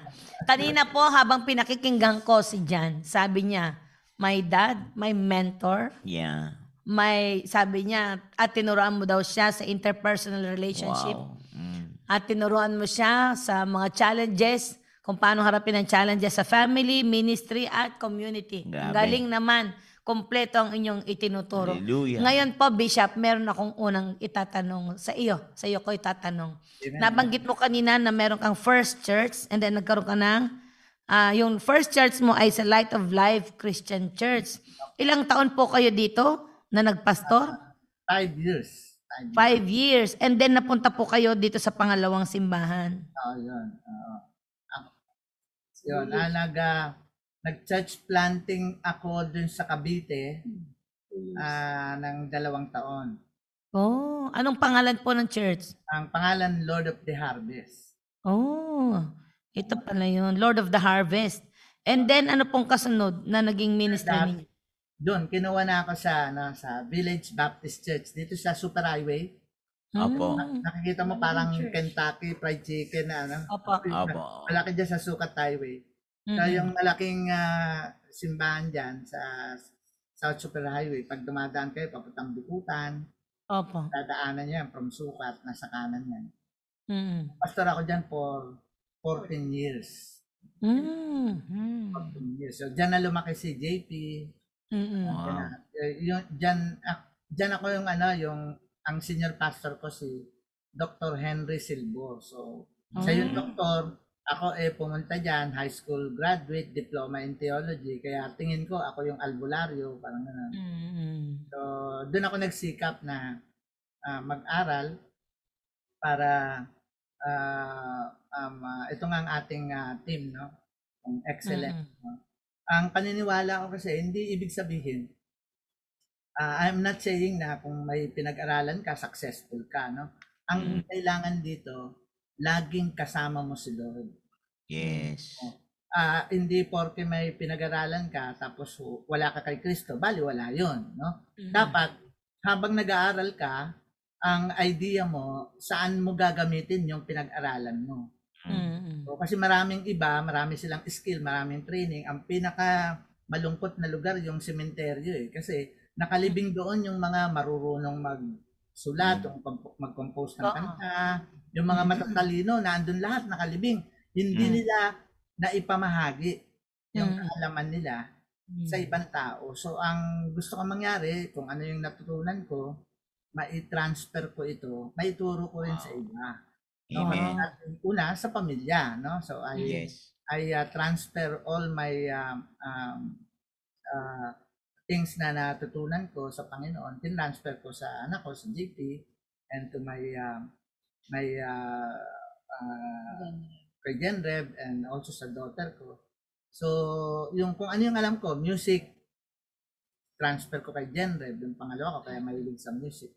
So, si JP naman, yung pagpipreach, no, pagtuturo as a teacher, yun, na-share ko yun sa kay JP. Ang gusto ko mangyari, kung ano na pag-aralan mo, kasama mo si Lord doon. I-transfer mo, i-share mo ito sa iba.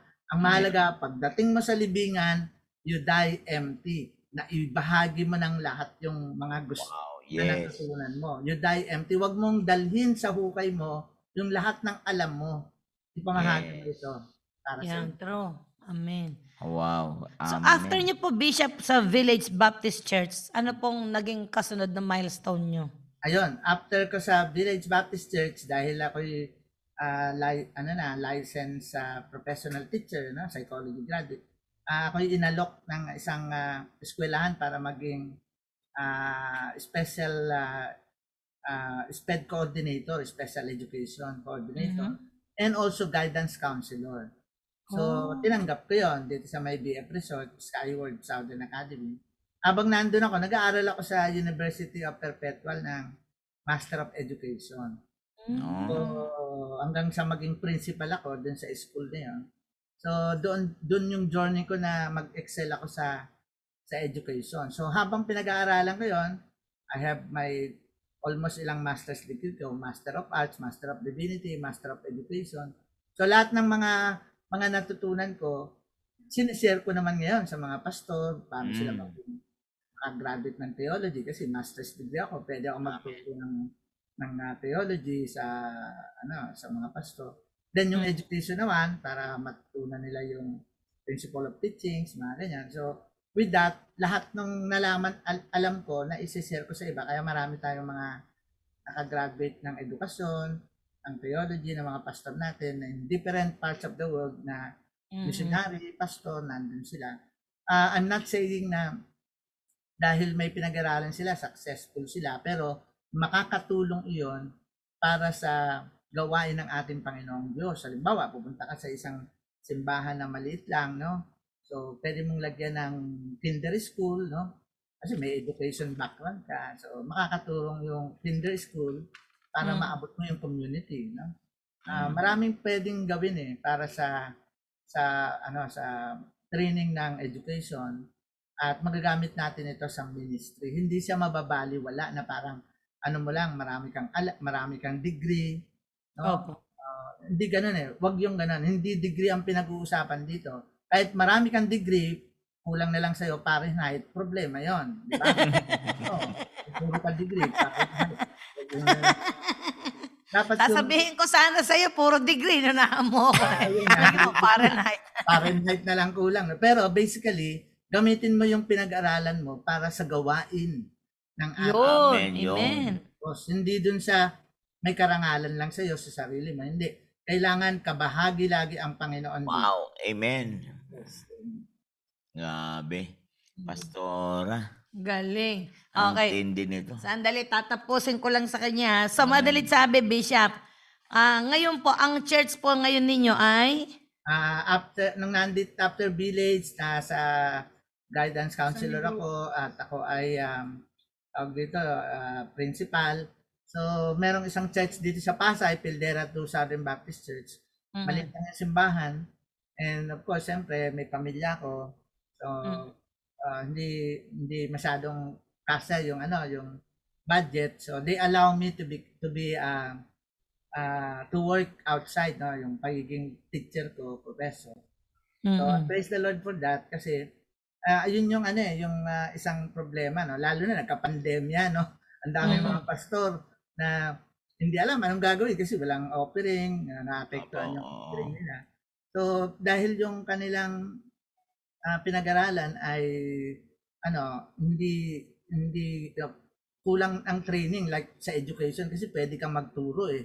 Opo. Ah, sa ano bilang teacher para hindi mapabayaan yung pamilya yung siyempre kakainin din nila pinakamalapit kasing trabaho ng pastor teacher kasi Mm. dapat sa Bible pastor teacher Opo. Opo. tinanong mo yung pastor oh kumusta ka na asan yung pastor mo ah ah, hindi naman masama yung ano mag-drive ano pero ah, Opo. ang taxi driver po medyo okay naman kaya lang kung Mm. pinag-aralan sana hindi siya magta-taxi driver Mhm. ang yung isa na tanong ko, tricycle driver. Ang pinakamalala yung ano, eh, asan yung ah, pastor mo? Ah, nagsa-sidecar eh. So parang mahirap, Mhm. sakit, no? Kaya ang ginagawa ko, sabi ko, asan si pastor? Nagsa-sidecar. Hindi ka, mag-aral ka sa akin. Wow. Yung pastor na yun na nagsa-sidecar, eh ngayon, church planter na natin, nakatapos na ng pag-aaral. Galing. Galing. Ngayon ay church planter na ng aming association. Amen. Can you imagine from sidecar na, di ba? Para Yes. maging church planter ka, may pinag-aralan ka na, nagagamit mo yung sa gawain ng ating Panginoon. So, magandang pakinggan, pastor, teacher. Yung isa, Yun. tinanong ko, asan yung pastor mo? Ay, si pastor po, ano, macho dancer. Ay, eh, delikado yan, masama yan. Hindi, hindi ko pwede. Sabi ko, wala sa Bible yan.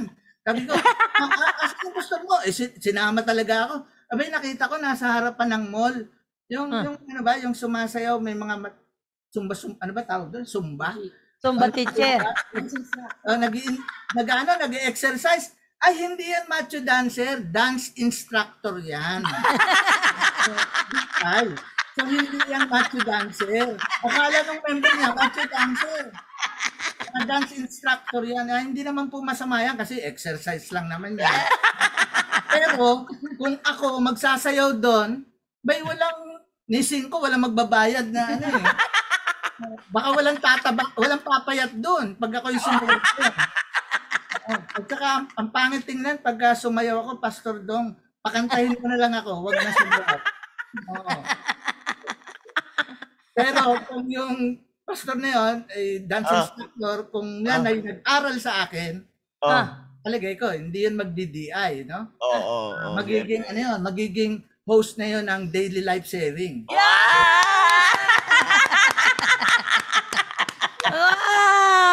Ang Ganun sabi po ni Pastor Jerry Nolasco, ang magigiting kong mga kaibigan. Oo. Wow! Mga mentor ng buhay ko, musta po kayo? Mga mentor ng buhay ko, Pastor Jerry Nolasco. Ah, oo, estudyante ko yun eh. oh, Ah, kakatuwa naman. nakakatuwa. Ngayon po, Bishop, ilang taon na po kayo sa Fildera Southern Baptist Church? 14 Mga years. po- 14 years Up to present. up to present. Oh, 14 Wow. Alam mo ba, kinukwento ko, kinukwenta ko, mula sa start, 21 plus 14 years, lumalabas po ay 35 years na po kayong pastor. Meron tayo Yeah, sa, ano yeah. pa, Sunnybrook? 35 years mula po doon sa kayo Oh, oh, nagsimula. Yan, 35, 36, mga ganyan. Oh. Galing! Ngayon, Galing. sandali nga po, Bishop ha, meron pong nais bumati sa inyo bago natin ituloy ang ating pinag-uusapan. Yan, okay. Ah, Hello, everyone. My name is Gigi Narido. I am a teacher here in Chiang Mai, Thailand. Grabe, I nawalang am one of the many people that Dr. Alex uh, was able to help in pursuit of higher education. And his passion for helping others pursue their um, educational dreams uh, had helped me get my um, finish my bachelor's get my master's and graduated this March with my master's degree from Philippine Christian University and am now in their PhD program. And without Dr. Alex, this would not happen. And it is really such a blessing and such a, an honor to get to know him and be part of his story. And so I am his number one talaga, number one um, advocate talaga. His his ministry, his heart, his his love for the Lord is such a blessing to many of us lay people and those who are in pursuit of of of further studies. And and all I could do is really praise the Lord for him. Thank you, Dr. Alex, for all your help. And we'll see you in class. Salamat po. wow, Bishop. naman. Dr. Alex, ayan, nagsasalita po ang inyong mga bunga. Si Ma'am Gigi ng ano, sa Thailand. Mhm. Yan, ng ating ah, teacher sa Thailand. So, yan po yung ating ministry. I-produce natin yung mga ah, tent-making missionaries. Kung ang Mhm. tawag sa, sa iba, OFW. Opo. ah, Overseas Filipino Worker. Opo. Sa atin, ang pinadadala natin, Overseas Filipino Witnesses. Wow. Wow, amen. Gagamitin ng Lord yung pinag-aralan nila para mag-minister sila Yes. sa mga tao. Makadala sila ng Amen. kaluluwa at makapag-disciple. Amen. At the same Yes. time, may income sila, hindi mapapabayaan yung kanilang ministry, di ba? Amen. Mm. Yes. Galing. Ako, Pastoralita, nasaan ka sa 35 years, ha? Bawasan natin ng 2, 33 years. Sabi mo nga, 29 years pala kayong mag-asawa. nasaan po kayo? Maliban sa ginawa kang taga-alaga ng iyong mga anak, binigyan ka rin ba ni Bishop o ni Dr. Alex ng break para namang i-improve mo ang sarili mo? Opo. Napakalaking tulong nitong asawa ko kasi nga mahilig tong mag-aral, nahawa po ako. Habang nagpapalaki po ako ng mga anak ko, naka, naka, nakapagtapos po ako sa PBTS ng ah, Bachelor of Christian Education. Then after yun, nagkaroon naman po ako ng Bachelor of ah, Secondary Education sa Asia Tech. Then nag-masteral po ako sa PCU. Sa Wow. Scholar po ako na, ni Bishop Alex. Yun, oo, oo, siyempre. oo. Ah, ah, siyempre, ako nagpapaaral, scholar ko. Di ba? Kaya, Wow, galing. oo, kaya sabi ko, Oh. ah, sabi ko, katulad sa iyo, nape-pressure ka, ito, sabi ko Ah. sa kanya, alam mo, ma, ah, gusto, alam mo, mataas talaga ang grade mo kasi ang galing mo, ang husay mo, mataas talaga ang grade mo. Pero Ah. mas lalong tataas yan kung hindi ako magpa-plancha, hindi ako mag... ba? Ako magsasaing. Oh, mataas talaga. Joke lang yon. Alam mo, ang sikreto ko, lahat ng ayaw niya, gagawin ko. Wow, gusto ko yan. Kung kami nagkakasundo, lahat ng ayaw niya, gagawin ko. Nagkasundo na kami doon. Oh, para Oo. katulad ng Oh, ano, katulad. katulad ng ano. Ayaw niya maglaba, di ako maglalaba. ayaw niya magsaing, di ako magsasaing. Ganun lang kasimple ang sikreto ng isang mag-asawa. Yung ayaw Okay. niya, gawin mo. Oh, ang ayaw niya. Oh, pastor, sa akin naman bishop, wala Ano eh. Wala, sikreto mo? Ano sikreto? walang ayaw tong misis ko eh. Ano? Lahat ng gusto niya ginagawa ko. Ayos siya na. Ano anong mga gusto niya? Anong gusto niya? Gusto, Gusto niyang ko awitan ko siya. Gusto niyang awitan ko siya. Ay, Eh, di ko ginawitan naman ko. maasahan magbuhat. Gusto niyang kumain. Eh, di, gi- gi- talagang gusto ko rin. Hindi niya rin ako may pagluluto. Paano siya maglalaba? Paano niya magigib? Hindi, hindi ako simple lang. Actually, nanonood ako ng basketball habang naglalaba eh. Pwede Ah. kong gawin eh. Eh, yung, ano lang yan eh, yung automatic lang na ilagay mo lang yung damit, di ba? Bumili ka sana ng washing machine. Ang gusto ko mangyari, yung washing machine, paglagay ko, pagbalik ko nakatiklop na. Wala akong ganong mabili. Ang lalaking Ba- baka baka meron kang ganun, Pastor Dong. Ah, pahiram mo na ng washing machine mo. Wala pa, wala pa. Wala pa. Ay, nako. Ang washing machine namin paglabas ay i- sasampay mo ulit. Sabi ni Pastor Jerry Nolasco, Ah, Bishop, si Pastor Dong, uh, and, and May Campoy, sabi niya, ano daw? ah, si Pastor, ah, si Bishop, talagang pwede usap muna, enroll ka na. May tip, may tip. May tip sa mga estudyante. Yan sa lahat ng gustong mag-enroll. Huwag niyo hanapin si Dr. Alex. Siyempre ako tanungin niyo ha.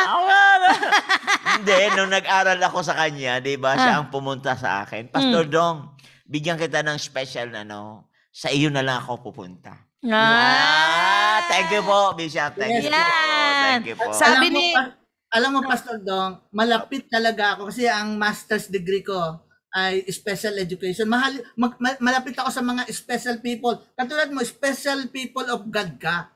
wow, thank you Pet po. ka daw.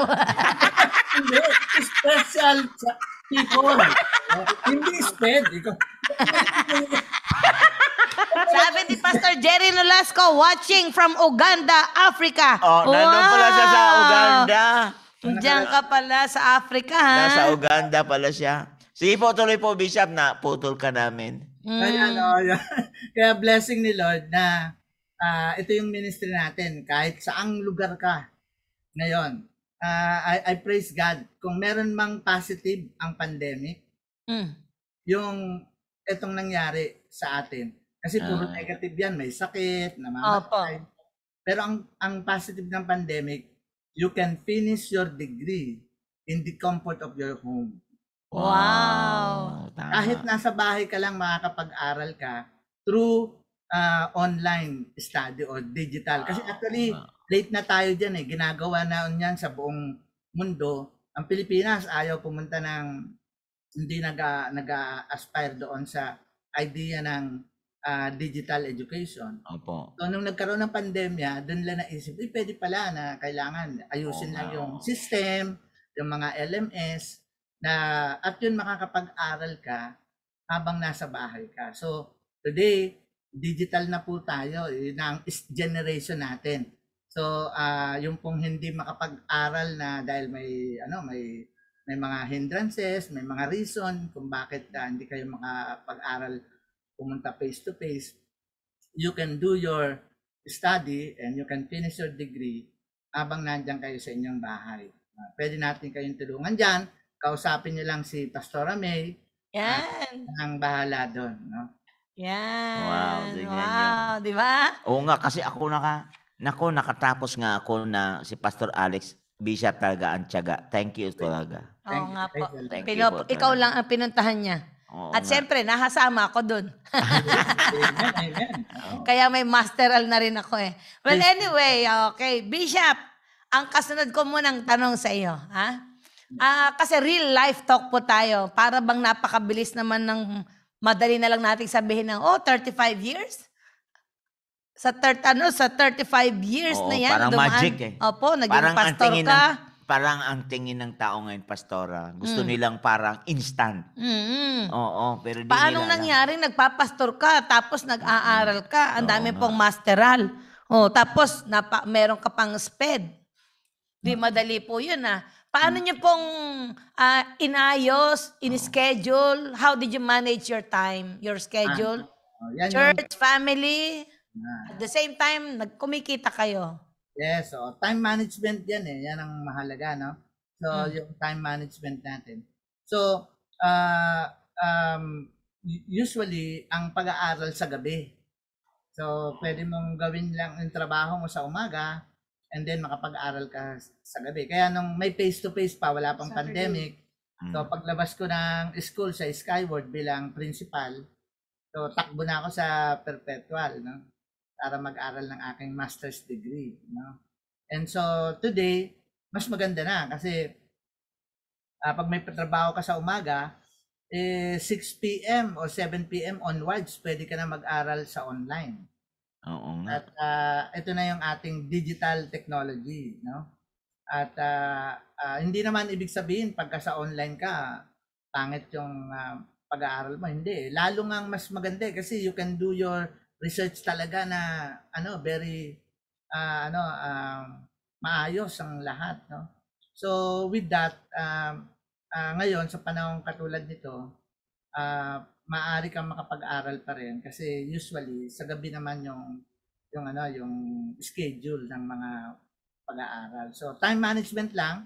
Mhm. last ah, week no na ah, pinagsabay ko yung ano pumunta kami Prayer Mountain.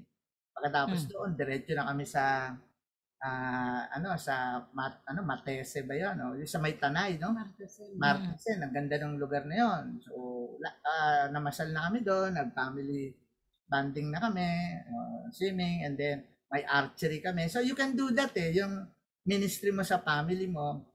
Siyempre, number one yon. Ah, yung family mo is your first ministry, di ba? And then, hindi ko napapabayaan yung pamilya ko. Kahit na magkaroon ng maraming pandemya, at ah, hindi man makapagsimba yung mga member sa simbahan, uh, I'm a licensed professional teacher.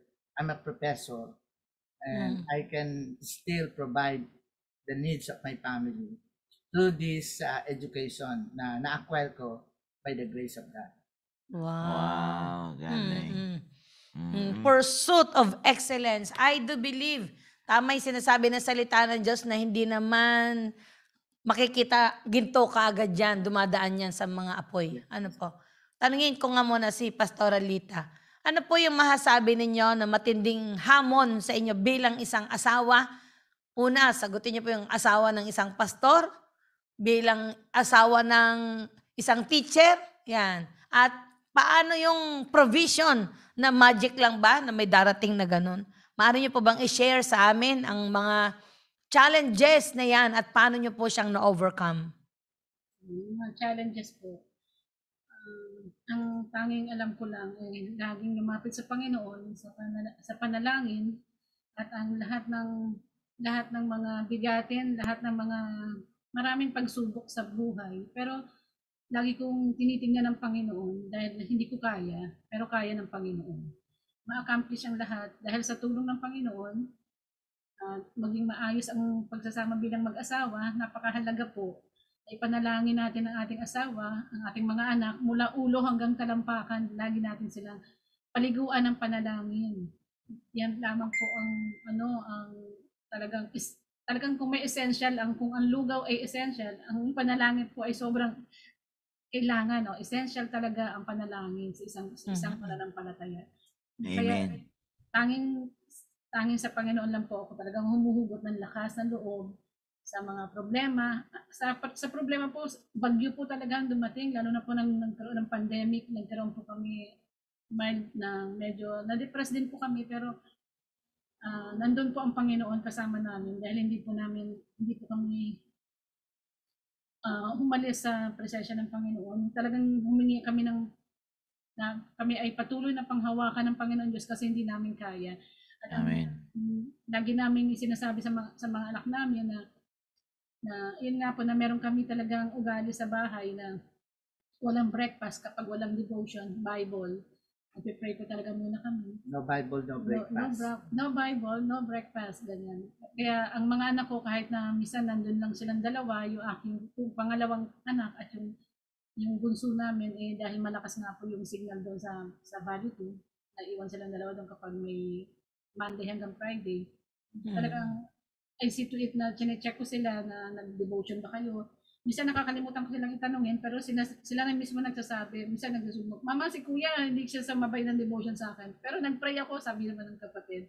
Kaya, po, ayun lamang po talaga yung, yung napaka, napaka gandang gawin bilang bilang nanay bilang nanay Hindi at lang bilang ano, asawa hindi lang supportive ang wife ko sa prayer. Ang Hmm. ah, ano ko sa kanya, na-admire ko sa kanya, yung pag-uwi mo ng bahay, maayos yung bahay.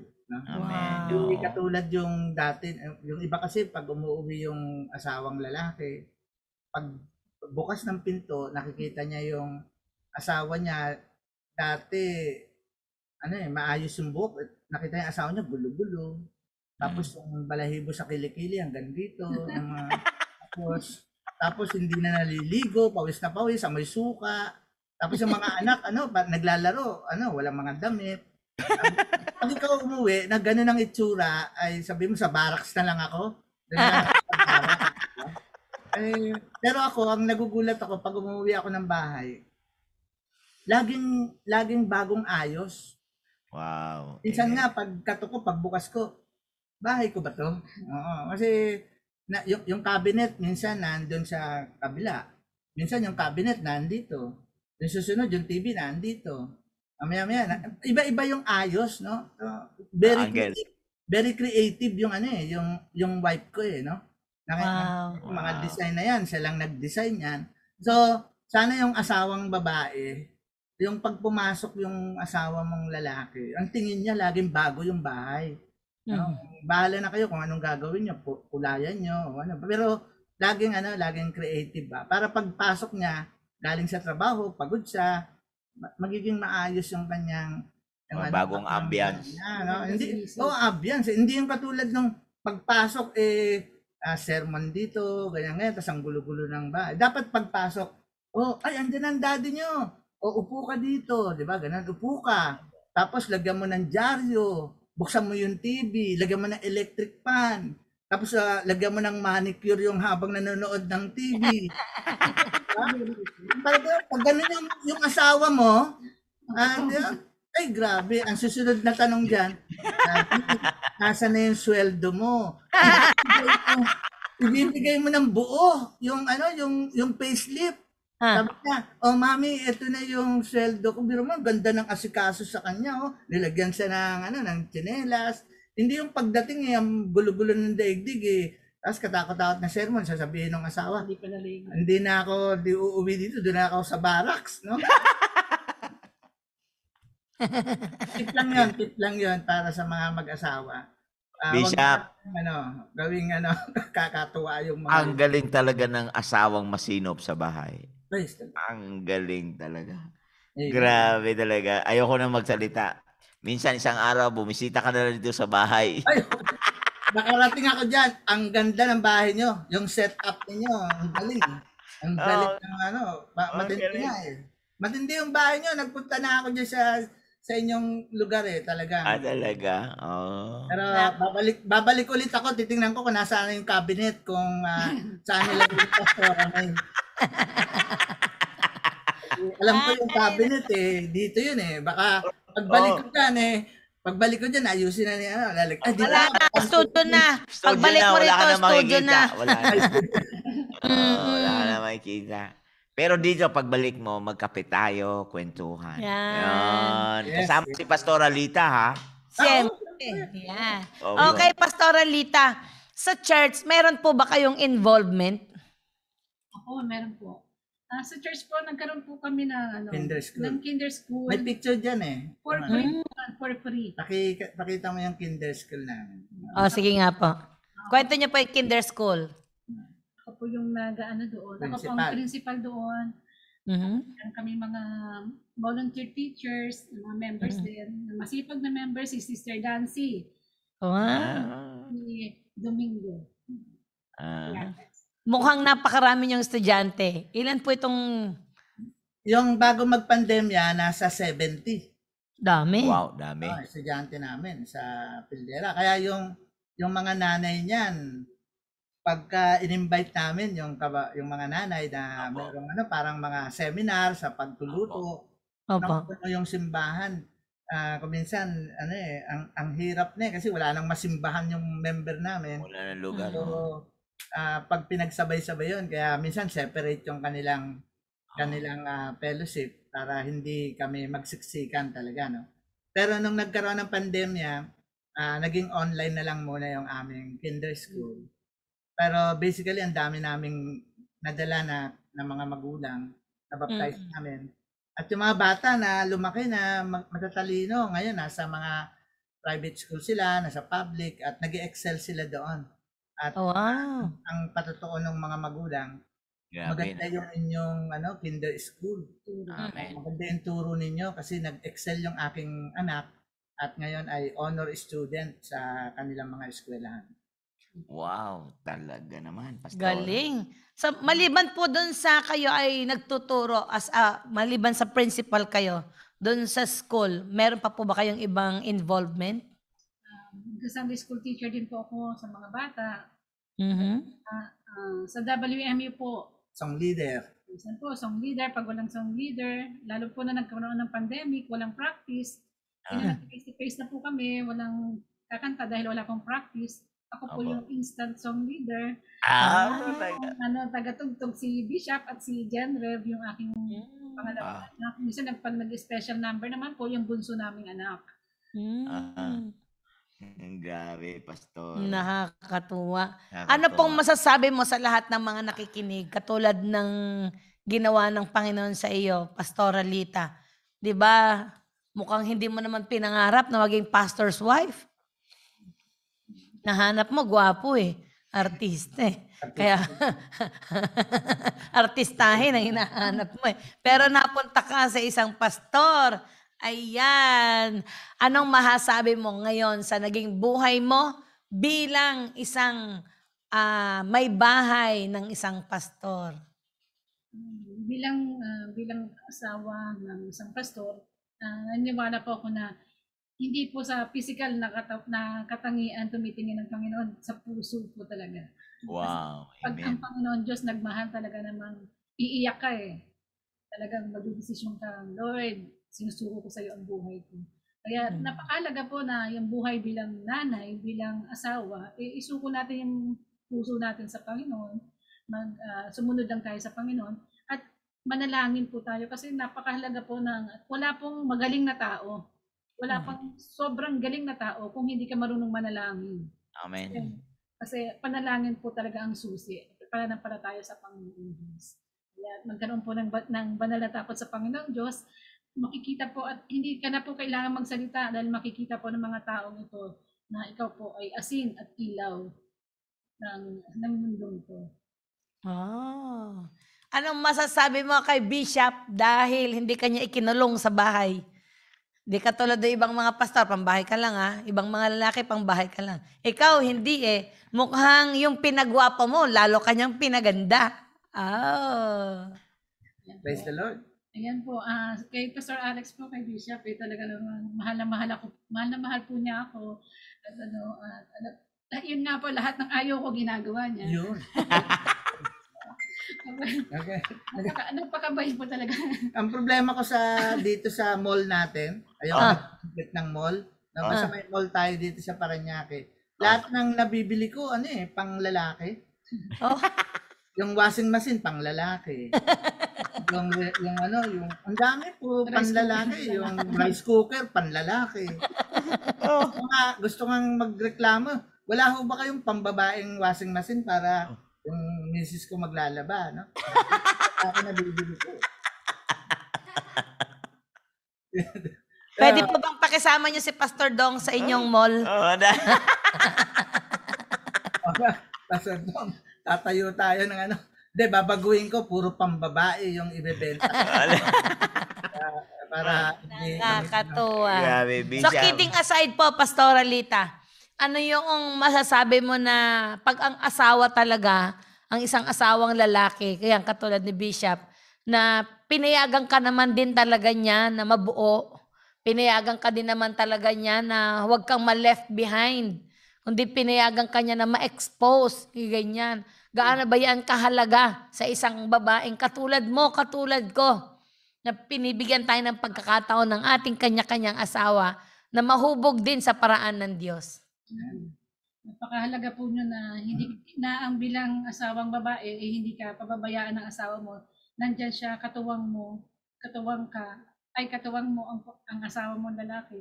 Ibig sabihin, pinalalakas ka niya. Dahil ang sabi nga po ni Pastor Alex na sinasabi niya palagi sa akin na binigay raw po siya sa binigay raw po ako ng Panginoong Diyos sa kanya. Kaya alam ko na na inayos, inayos at patuloy din naayusin ng Panginoong Diyos yung aming pagkasama dahil naniniwala ako na ang babaeng asawa ay hindi man perpektong asawa natin.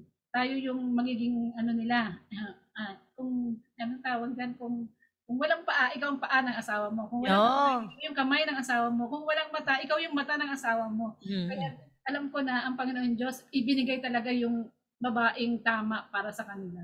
Kasi sabi rin ng nanay ko, kung nasaan ang asawa mo, dapat nandun ka. Sabi ko, Yun. suportahan mo ang asawa mo, ipanalangin mo yung asawa mo. Lagi yun sinasabi ng nanay ko. Wow, ang galing. Yeah. Nako, Bishop, may nais pang bumati sa inyo. Amen, amen. Magandang araw po, mapagpalang araw po sa ating lahat, mga ka-daily life sharing. Mapagpalang araw po, Bishop Alex Arseno, uh, Sister Lita, Arseno family, Pastor JP, sa US, ingat po ay dyan, God bless. Uh, at mga ka-daily life sharing, ako po si Aaron Azorin from Church of Jesus Christ the Firm Foundation, Las Piñas City.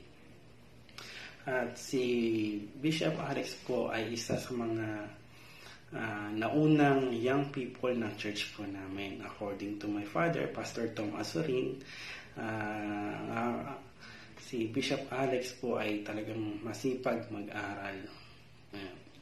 At ang aming church po at ang aming pamilya nakita ang pagpapagaan sa pagpa- sa pag-aaral ni Bishop Arseno Alex at maging sa paglilingkod sa Panginoon at sa mga kapwa mananampalataya, sa mga believers.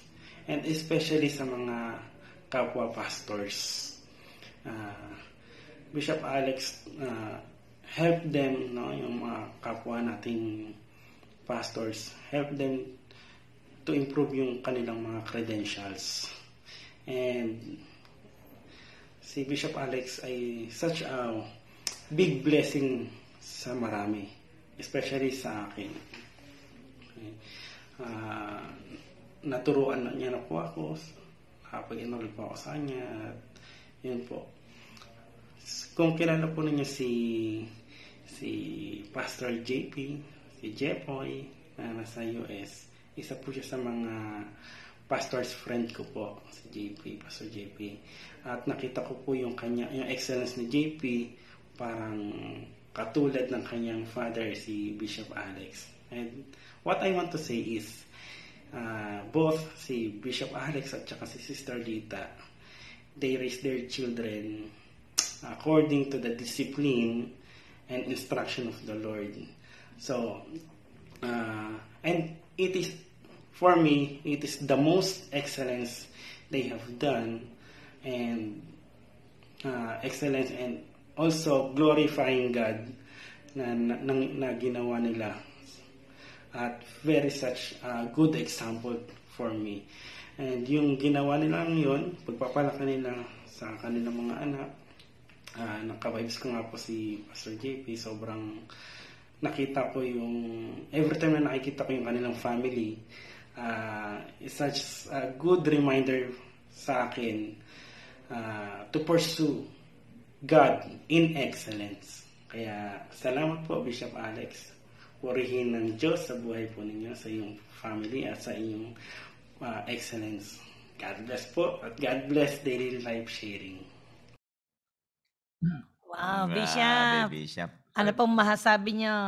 Alam nyo, ah, simple lang yung ano eh, yung advocacy ko na. Ephesians chapter 4, sinabi ng Bible, He who steals, steals no more. Yun daw magnanakaw, huwag na magnakaw. Ang kaso sabi ni Pablo, the author of the book, but rather let him labor. Can you imagine, pinagtatrabaho niya yung ano, nagbago na dating magnanakaw. Sabi niya, let him labor. Eh, anong magiging trabaho nung magnanakaw? Eh, di magnanakaw din, di ba? Kasi yun lang ang alam niya eh. So, ang advocacy ko, number one, he who steals, steals no more. Magbabago yung tao, yung character. After yung character, yung pagle-labor niya, yung pagtatrabaho niya, bibigyan natin siya ng competency. Mm-mm. Ito yung tinatawag na skills, Mm. no, competency. So, ito ang problema ng bansa natin o ng ibang mga bansa. Merong ah, tinatawag na na ano na mga programa, no? Pero ang problema, puro bigay eh, puro albawa, ah, yung ano, yung ah for ano ba yan? For peace, for peace, no? Bibigyan ka lang yan. Pero dapat ang maganda, wag bigyan. Ah, turuan mo silang mangisda, di ba? Parang hindi yun laging bibigyan ng isda, kundi turuan mo silang mangisda. So ang binibigyan natin character. Number two, competency or skills. And then sabi ni Paul, ang pinakadulo niya, sabi niya, so that they may have to give to him that needed. No? Ang end result nito, successful ka, nakakatulong ka na. So, character, competency, and credentials. So, para makatulong ka sa ibang tao, kailangan mo ng credentials, no? Yung mga special training mo, meron kang meron kang credentials para pagdating mo sa isang lugar ay ano, panalong panalo ka, no? Ah, magagamit ka talaga ng ating Panginoon. So, wag niyong kalimutan 'yan. Ah, yung verse na 'yan, no, very simple. Competency, ah, character, competency, credentials. Ako, tama-tama may election ngayon. Kung Mm. boboto rin lang kayo, hanapin nyo character, competency, meron ba yung alam? May nagawa na ba yan? Mm. And then, credentials. Eh, wag naman po tayong boboto ng ano ng ng ano ano grade 1 lang, grade 2 lang. Dapat may credentials, no? So, character, competency, credentials, at higit sa lahat, commitment to God. So, Ayan. forces po tayo para magkaroon tayo ng ng isang maayos at matagumpay na excellence sa ating buhay. Wow. Ang galing. Nako, Bishop, ang ganda ng ating tema, Pursuit of Excellence. Sa tingin ko po, ito po bang ginawa ng Panginoon sa buhay ninyo? Mahasabi ninyong nakapag-set kayo ng high standard sa buhay ninyo? uh, uh, praise God, no? Ah, kung tatawagin mang itong high standard, praise the Lord. Pero ah, I feel na kung wala ang Panginoon, Mhm. wala to, no? Yeah. Hindi ko kaya ito, hindi namin kaya ito kung hindi kasama si Lord. Mm. So, ang number one na kailangan talaga ng tao ay magkaroon muna siya ng personal na relasyon kay Kristo Mm. kailangan maramdaman niya muna yung tunay na transformation. At yung transformation na yan, nandito yan sa loob. No? And then after that, babaguhin ng Panginoon yung buhay mo, magkakaroon ka ng maayos na karakter. Kaya yung magnanakaw, hindi na magnanakaw, magbabago na siya. Ang susunod mo doon, you need to acquire skills, training, competency. Opo. Pag nakuha mo na yung competency, ano ba yung mga competency? Ang daming competency na pwede mong pag-aralan eh para Opo. makatulong sa pagpa-plant mo ng church. Kung napunta ka dun sa isang lugar na ano na church planting, mahirap lang doon. Eh paano pag nag-offering 'yon eh baka piso lang ang ibibigay na offering doon. Mm. So, kung meron kang skills, ah, may kit, meron akong isang estudyante na tulungan natin siya sa kasi probinsya sila. So sabi ko, sige, ano bang gusto mong skills? O sige, turuan kita sa TESDA, ah, hair, hair cutting. No? Mm. Can you imagine magkano ang gupit ngayon? Ah, magkano ang gupit ba ngayon? Ah, mga 80 80 pesos sa mga yan, mga ganyan, di ba? Eh pepesto lang siya sa isang sulok eh. At sabi niya 20-20, pero ang haba ng pila noon. Haba ng pila, 20 pesos lang, kapiraso lang doon, kumikita na siya. Pero ang maganda kasi naalala ko yung tatay ko barbero eh. Mm-mm. Yung tatay ko kasi nung unang maging Christian siya, eh di nagpapaturo siya sa akin bilang mentor niya. Sabi niya, "Ah, anak, gusto kong mag-share ng ano yan, ng ng gospel, hindi ako marunong eh. Kasi bago lang ako. Di tinuruan ko siya ng EE. Alam niyo naman yung EE, di ba? Evangelism Explosion. Opo. Eh medyo mabigat 'yun eh kasi if you were to die tonight, are you sure of going to heaven? Yung mga ganun, di ba? Eh yung tatay ko gusto niyang ipasok yung EE. Eh barbero siya. Eh nung araw wala naman yung laba, yung ano, yung mga blade, wala nang ganyan eh. Ang pinakadulo niyan, yung bubunutin mo yung belt, tapos ganyan, Pastor Dong, di ba? Opo, opo, oh. Ganyan eh. Eh, nasa loob ako ng kwarto, nas, nas andun siya sa may gumugupit siya, na ganyan. Tapos naririnig ko nung gusto niyang siran yung, yung ano, yung kanyang, kanyang ah, kliyente, yung kanyang ginugupitan. Eh, hindi niya alam paano gagawin niya. First time niya magsishare. Alam niyo yung sagot niya, sabi niya, ginaganyan niya yung labaha. Handa ka na bang mamatay? Lumabas ako eh. Lumabas ako, Pastor Dong eh. Kasi tumayo na yung ano eh. Yung ano yung tao. Nagpapagupit, no? Eh, pasensya na po kayo. Ang gustong sabihin ng tatay ko, ano, kung kung handa na po ba kayo, natanggapin mo si Lord, mga ganun. Hindi, akala, gigilitan siya sa leeg, di ba? Mga ganun, handa ka na bang mamatay? So, can you imagine yung estudyante ko, eh, sabi ko, wag mong gayahin yung tatay ko, ah. pero manggupit ka lang, sasabihin mo, alam mo, mahal ka ng Diyos, yung ganyan, 20, o ikaw, mahal ka ng Diyos, yung mga ganun ba, di ba? Opo. So, can you imagine, mat- meron na siyang pambili ng bigas, Ah, nakapag-share pa siya sa, nakatulong siya sa community, mura lang, opo. nakapag-share pa siya ng gospel. So, Ah. hindi problema yung offering kasi yung skill na binigay sa iyo ng Panginoon, competency, Oo. training mo, then your credentials, um, usually ang gusto natin maging pastor and teacher, and then commitment to God, panalo na yon. Kahit saan kang sulok dalhin ng Panginoon, you can plant a church even without support kasi ang support mo galing sa Panginoon. Yes, yung Amen. skill niya. Galing. Grabe, Pastora. Wow. Nako mga ka-daily life sharing. Nandyan pa ba kayo? Sobrang saya ng pinag-uusapan natin. Bishop, pursuit of excellence. Para sa lahat ng mga nakikinig.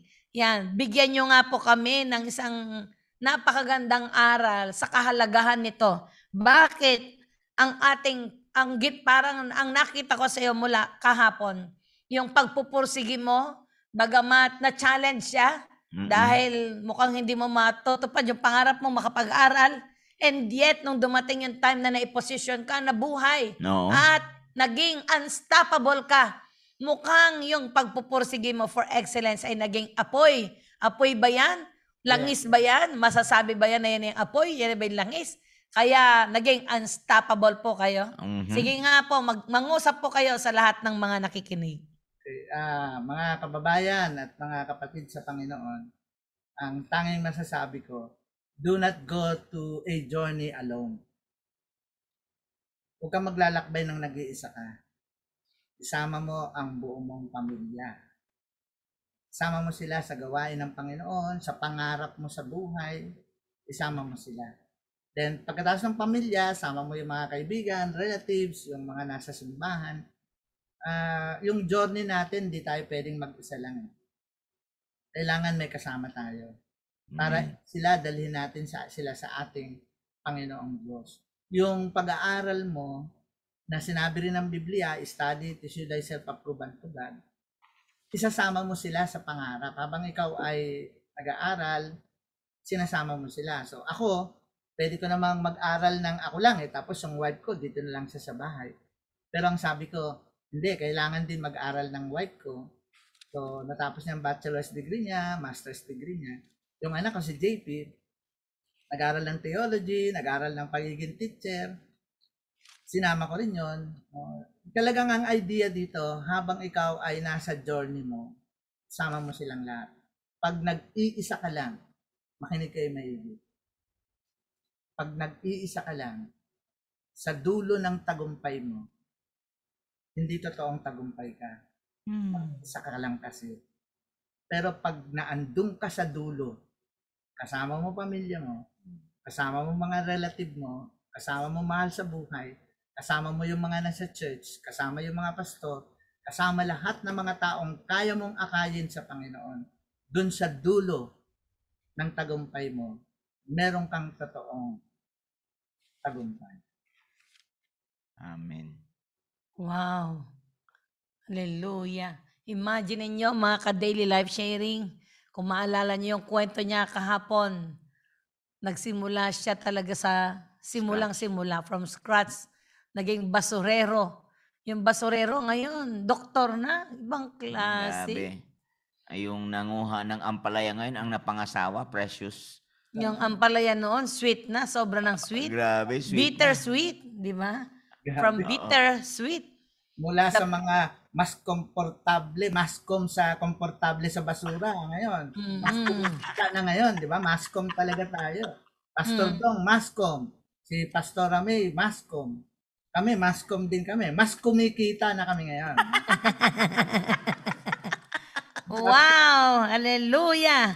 Nako, Bishop, alam mo, nabasa ko yung sinasabi mo, hinanap ko eh, dun sa mga ngaral. Ecclesiastes chapter 9 verse 10. Wow. Sabi po doon eh, ano man ang ginagawa mo'y pagbuhusan mo ng iyong buong makakaya Amen. sapagkat sa daigdig ng mga patay na kasasadlakan mo ay wala kang gagawin ni pag-iisipan naman ni pagbubuhusan ng kaalaman o karunungan. Tama, tama. Tama yung verse na yan. Praise Opo. the Lord. Oo, maganda. Thank you, Pastor May. Kasi ang nasa isip ko talaga, ang pinakamalungkot na lugar, sementeryo. Mm-mm. Oo. Kasi naandun lahat sa ilalim nun. Yung mga hindi natin na-discovering mga talent. Tama. Sinama Grabe. nila sa hukay. Mm-mm. Dapat Oo hindi. Mm-mm. Pag nawala tayo sa daigdig na ito, lahat ng alam natin, Pastor Dong, lahat ng alam natin, na ipamahagi na natin. Naibuhos. Oo, naipasa. Na ipasa na natin lahat. Yun yung Mm. sinasabi ng Bible na na entrust to reliable men, di ba? Yun ang tunay na discipleship. Ibigay mo lahat ng alam mo, pumunta ka dun sa sa, sa sementeryo, sa dulo, pag ikaw ay pupunta na sa Panginoon, you die empty. Ay pamilya. Yeah. Panood ako sa YouTube eh, ano eh, nung nilibing siya, ang laki ng libingan niya, nilagay Mm. yung kotse, yung mga alahas niya, pati kotse nilagay sa libingan niya eh. Mm. Oh, nilibing, sinama sa libingan. Sabi ko, matinding, anong tawag doon? Yung ganid ba ang tawag doon? Parang Mm. Sobrang pagmamahal mo sa mga materials Sakim. na materi ano Kasakiman. tawag doon? kasakiman, no? Kasakiman. Parang ganun. Lahat Mm. ng ari-arian mo, sinama mo sa hukay mo. Na which is ang paniniwala siguro ng tao na yon Mm. magkokotse pa siya doon sa kabilang buhay, eh wala namang kotse na doon. Puro ginto na yung lalak, lalakaran natin yun. Kung napunta siya sa langit, eh hindi naman siguro, eh, dahil puro kasakiman yung ginawa niya. Pero Mm. dapat, ah, tayo, pagdating sa lupa, pag bumalik na tayo sa Panginoon, lahat ng alam natin, na ipamahagi na natin. Tama Mm. po. Kaya nga, Bishop, yung sinasabi mo kanina, sa ating mga mananampalataya na meron talagang, we carry that pro- productive spirit, ano po? We carry that productive spirit. Nakita ko, itong daily life sharing, two years siya, ipinanganak dahil sa pandemic. Wow. At ang pandemic na ito, nagturo sa atin na buhay ka ngayon, bukas. Pag natamaan ka ng COVID, garapon ka na lang, maya-maya. Di ba? Ngayon, nasaan yung kotse na dadalihin mo? Ibig sabihin, tama po yung sinasabi nyo eh, may aral po talaga. May itinurong napakalaking aral sa atin ang pandemya na ito. Pursuit of excellence. Bishop, salamat dahil sinasabi mo sa buong mundo, excellent kang tao pag alam mong magsalin ng karunungan Yun. sa kapwa mo. Pag hindi ka maramot, you are not keeping it to yourself. Hindi mo sinasarili. Yung nasa tabi mo, kailangan niya ang ebanghelyo. Ibahagi mo si Jesus sa tricycle, sa jeep, sa bisikleta, sa ano kung ikaw man ay nasa kanto, saan ka man, nasa party, nasa meeting, nagtuturo, in all areas of your life, i-share. I-share talaga. That's excellence. Wow. Wow. Salamat sa Diyos. Nako, mga ka-daily life sharing, dito natin nakikita ang mundo, ang excellence ng mundo. Pag marami kang bagay, marami kang pera, mataas ang iyong pinag-aralan, marami kang posisyon sa mundo. Pero ito, natutunan natin kay Bishop, yung excellence na tinanggap niya, isipin mo ilang masteral, isang may tapos may PhD, professor na, and yet hindi siya humihinto. At sinasabi niya, hindi lang para sa akin ito, hindi lang para sa mga anak ko ito, para din ito sa ibang tao na nangangailangan ng ganitong ah, pagtuturo. Salamat po ng maraming maraming Bishop dahil hindi po kayo naging makasarili. Natagpuan ninyo yung treasures in darkness. Wow! At yung treasure na yan, inilagay mo na, inilatag mo na. Ito ang kailangan ng mga tao. Yes, at ini-enjoy ni JP ngayon. Mm-mm. Yung grasya na yan na sinama mo sila, ini-enjoy din ni John Reb ngayon. Mm-mm. Yung grasyang isinama mo sila. And I do Wow. believe di lang ito eh. Mm-mm. Isa ako doon sa nag-enjoy dyan eh. Yan, nag-enjoy kami. Alam nyo ba, mga ka-daily life sharing, si Bishop, in-invite ko lang po siya na magpatotoo sa daily life sharing. Sabi niya, oh, nagtuturo na ako ng masteral. Sa PCU, mag-enroll ka na ba? Sinama pa. eh, sabi ko sa kanya, sino ba naman ang ayaw magkaroon ng papel? Praise the Lord, praise the Lord. Kaya naman ako, dahil kami po'y naniniwala sa inyo, naniwala kayo sa amin, pinayagan nyo kami na ikwento natin sa buong mundo ang napakagandang kwento nyo. Kaya naman, dahil doon, yun talaga eh, adding value. Sabi ng 2 second Peter chapter 1 verse 5. Mm. But also for this very reason. Mhm. Ano? Giving all diligence. Mhm. Add to your faith virtue. Alam mo sa ibang version ng word na virtue, Mm. moral excellence. Wow! Galing.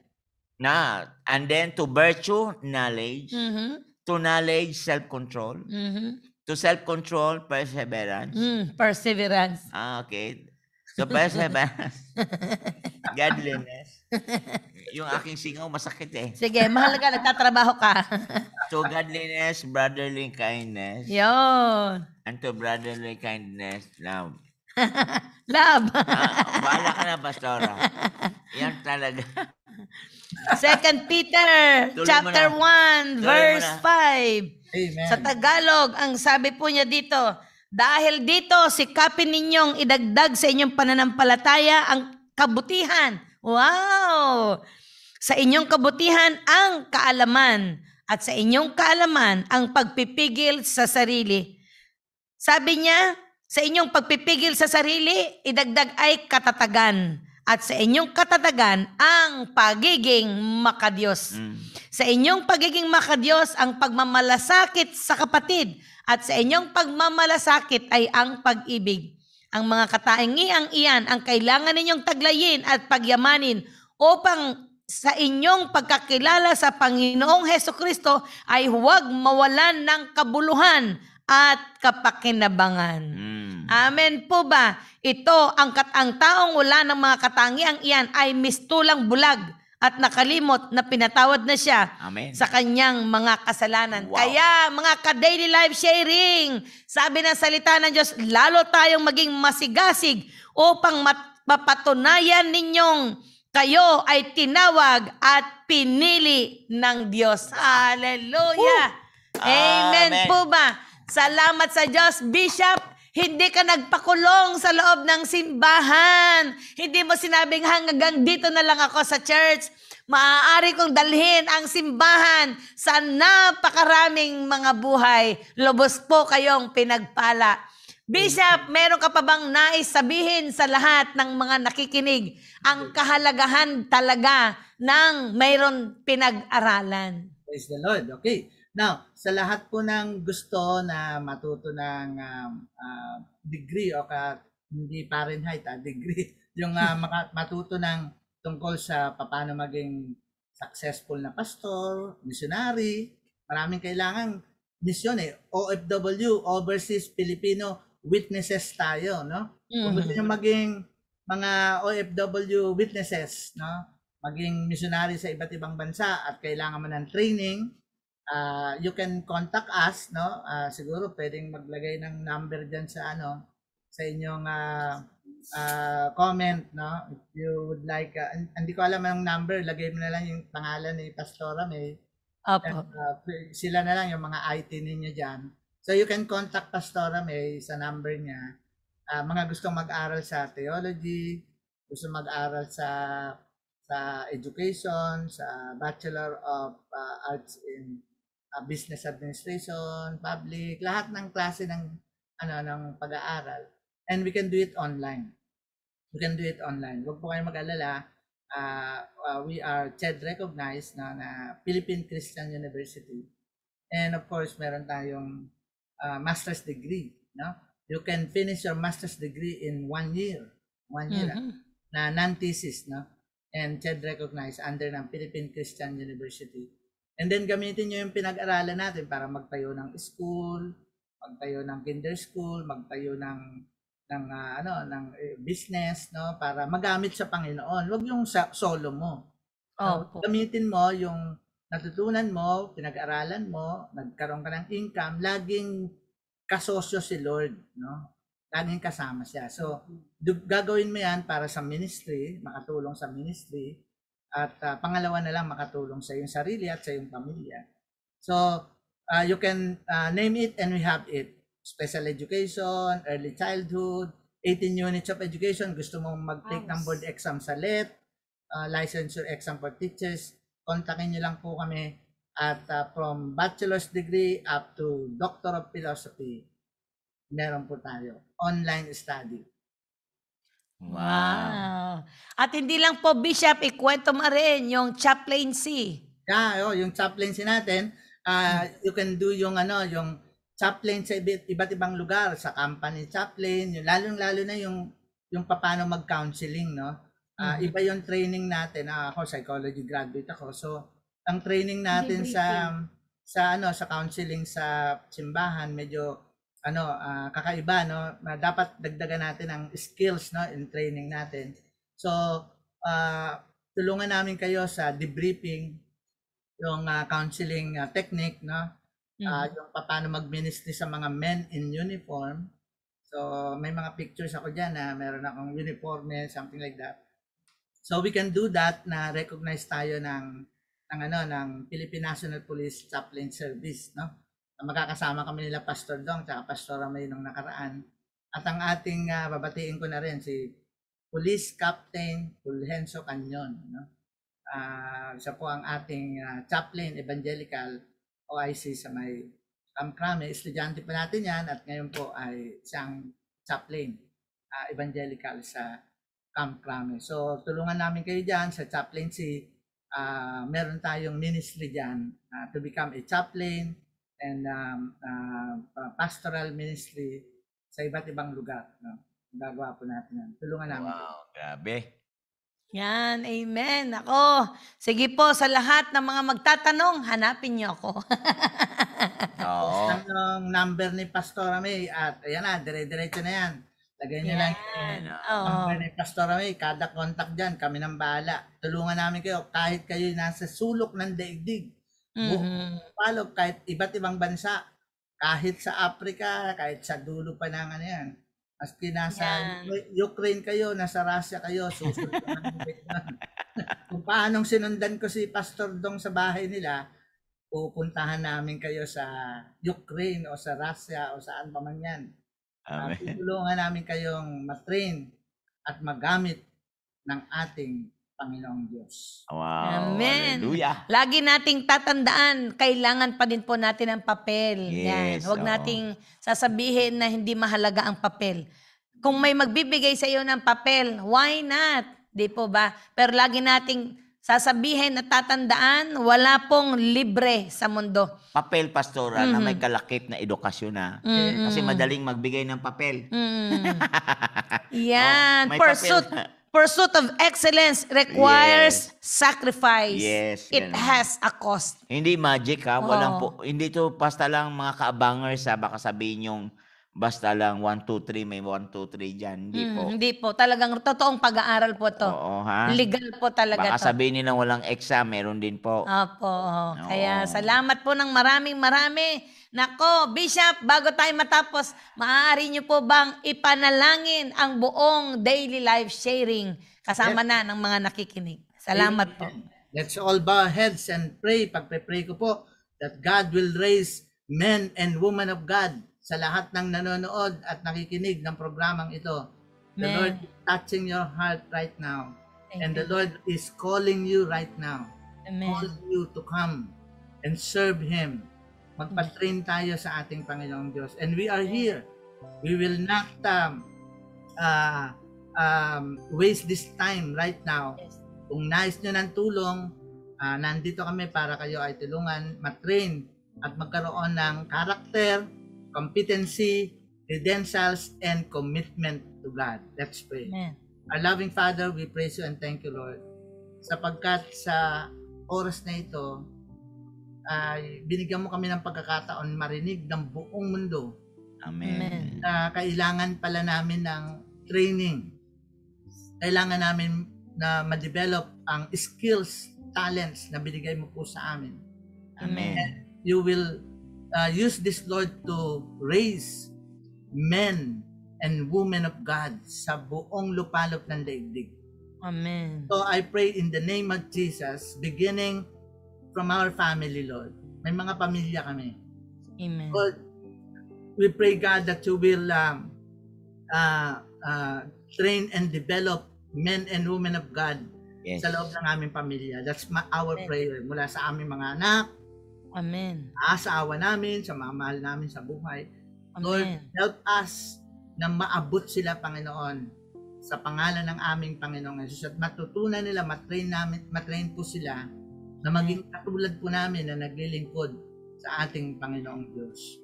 And we, ask, we are not only praying for our family, but we are also praying sa buong staff ng uh, uh, DLS, Lord. Daily life sharing. Mula kila Pastor Dong at Pastor May at the entire family nila at ang buong staff and members ng DLS at ng mga churches po namin. Panginoon, raise a men and women, a heart, Lord, na gustong magpasakop sa iyo, magpa-train sa iyo, that you will Amen. develop forces in our heart, Lord, sa puso nila, na magkaroon sila ng character, competency, credentials, Lord, and of course, commitment to serve you, Lord. Yan po Amen. aming panalangin sa buong mundo na nakikinig ngayon at na nanonood ng programang ito. Lord, we pray God that they, they will contact us. Paano sila Amen. Paano sila magiging missionary, maging pastor, maging teacher, at Amen. magamit po para hindi mapabayaan yung aming pamilya sa pangangailangan pinansyal. At the Amen. same time, una sa lahat, nakakapaglingkod kami sa iyo. Amen. Purihin ka, Panginoon. Thank you, Lord, for everything. For this is our prayer thanksgiving. To God be the glory in Jesus' name. And everybody say, Amen. Amen. Amen. Wow! Salamat ng maraming marami, Bishop Dr. Alex Arseno, Pastoralita, mga Yes. ka-daily life sharing, mapagpalang hapon po sa inyong lahat. God Amen. bless us God all. bless po. Yes, okay. Thank you, Pastor Dong. Kape-kape. Yeah.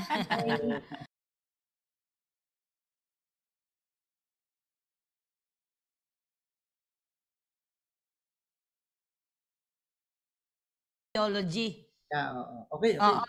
Ah, ah, Pwede ang ba siyang mag four years? Yeah, oh, wala pang 4 years, no? Ganito, Wala pa. Pastor Dong. Ah, may ongoing tayo, iahabol kita under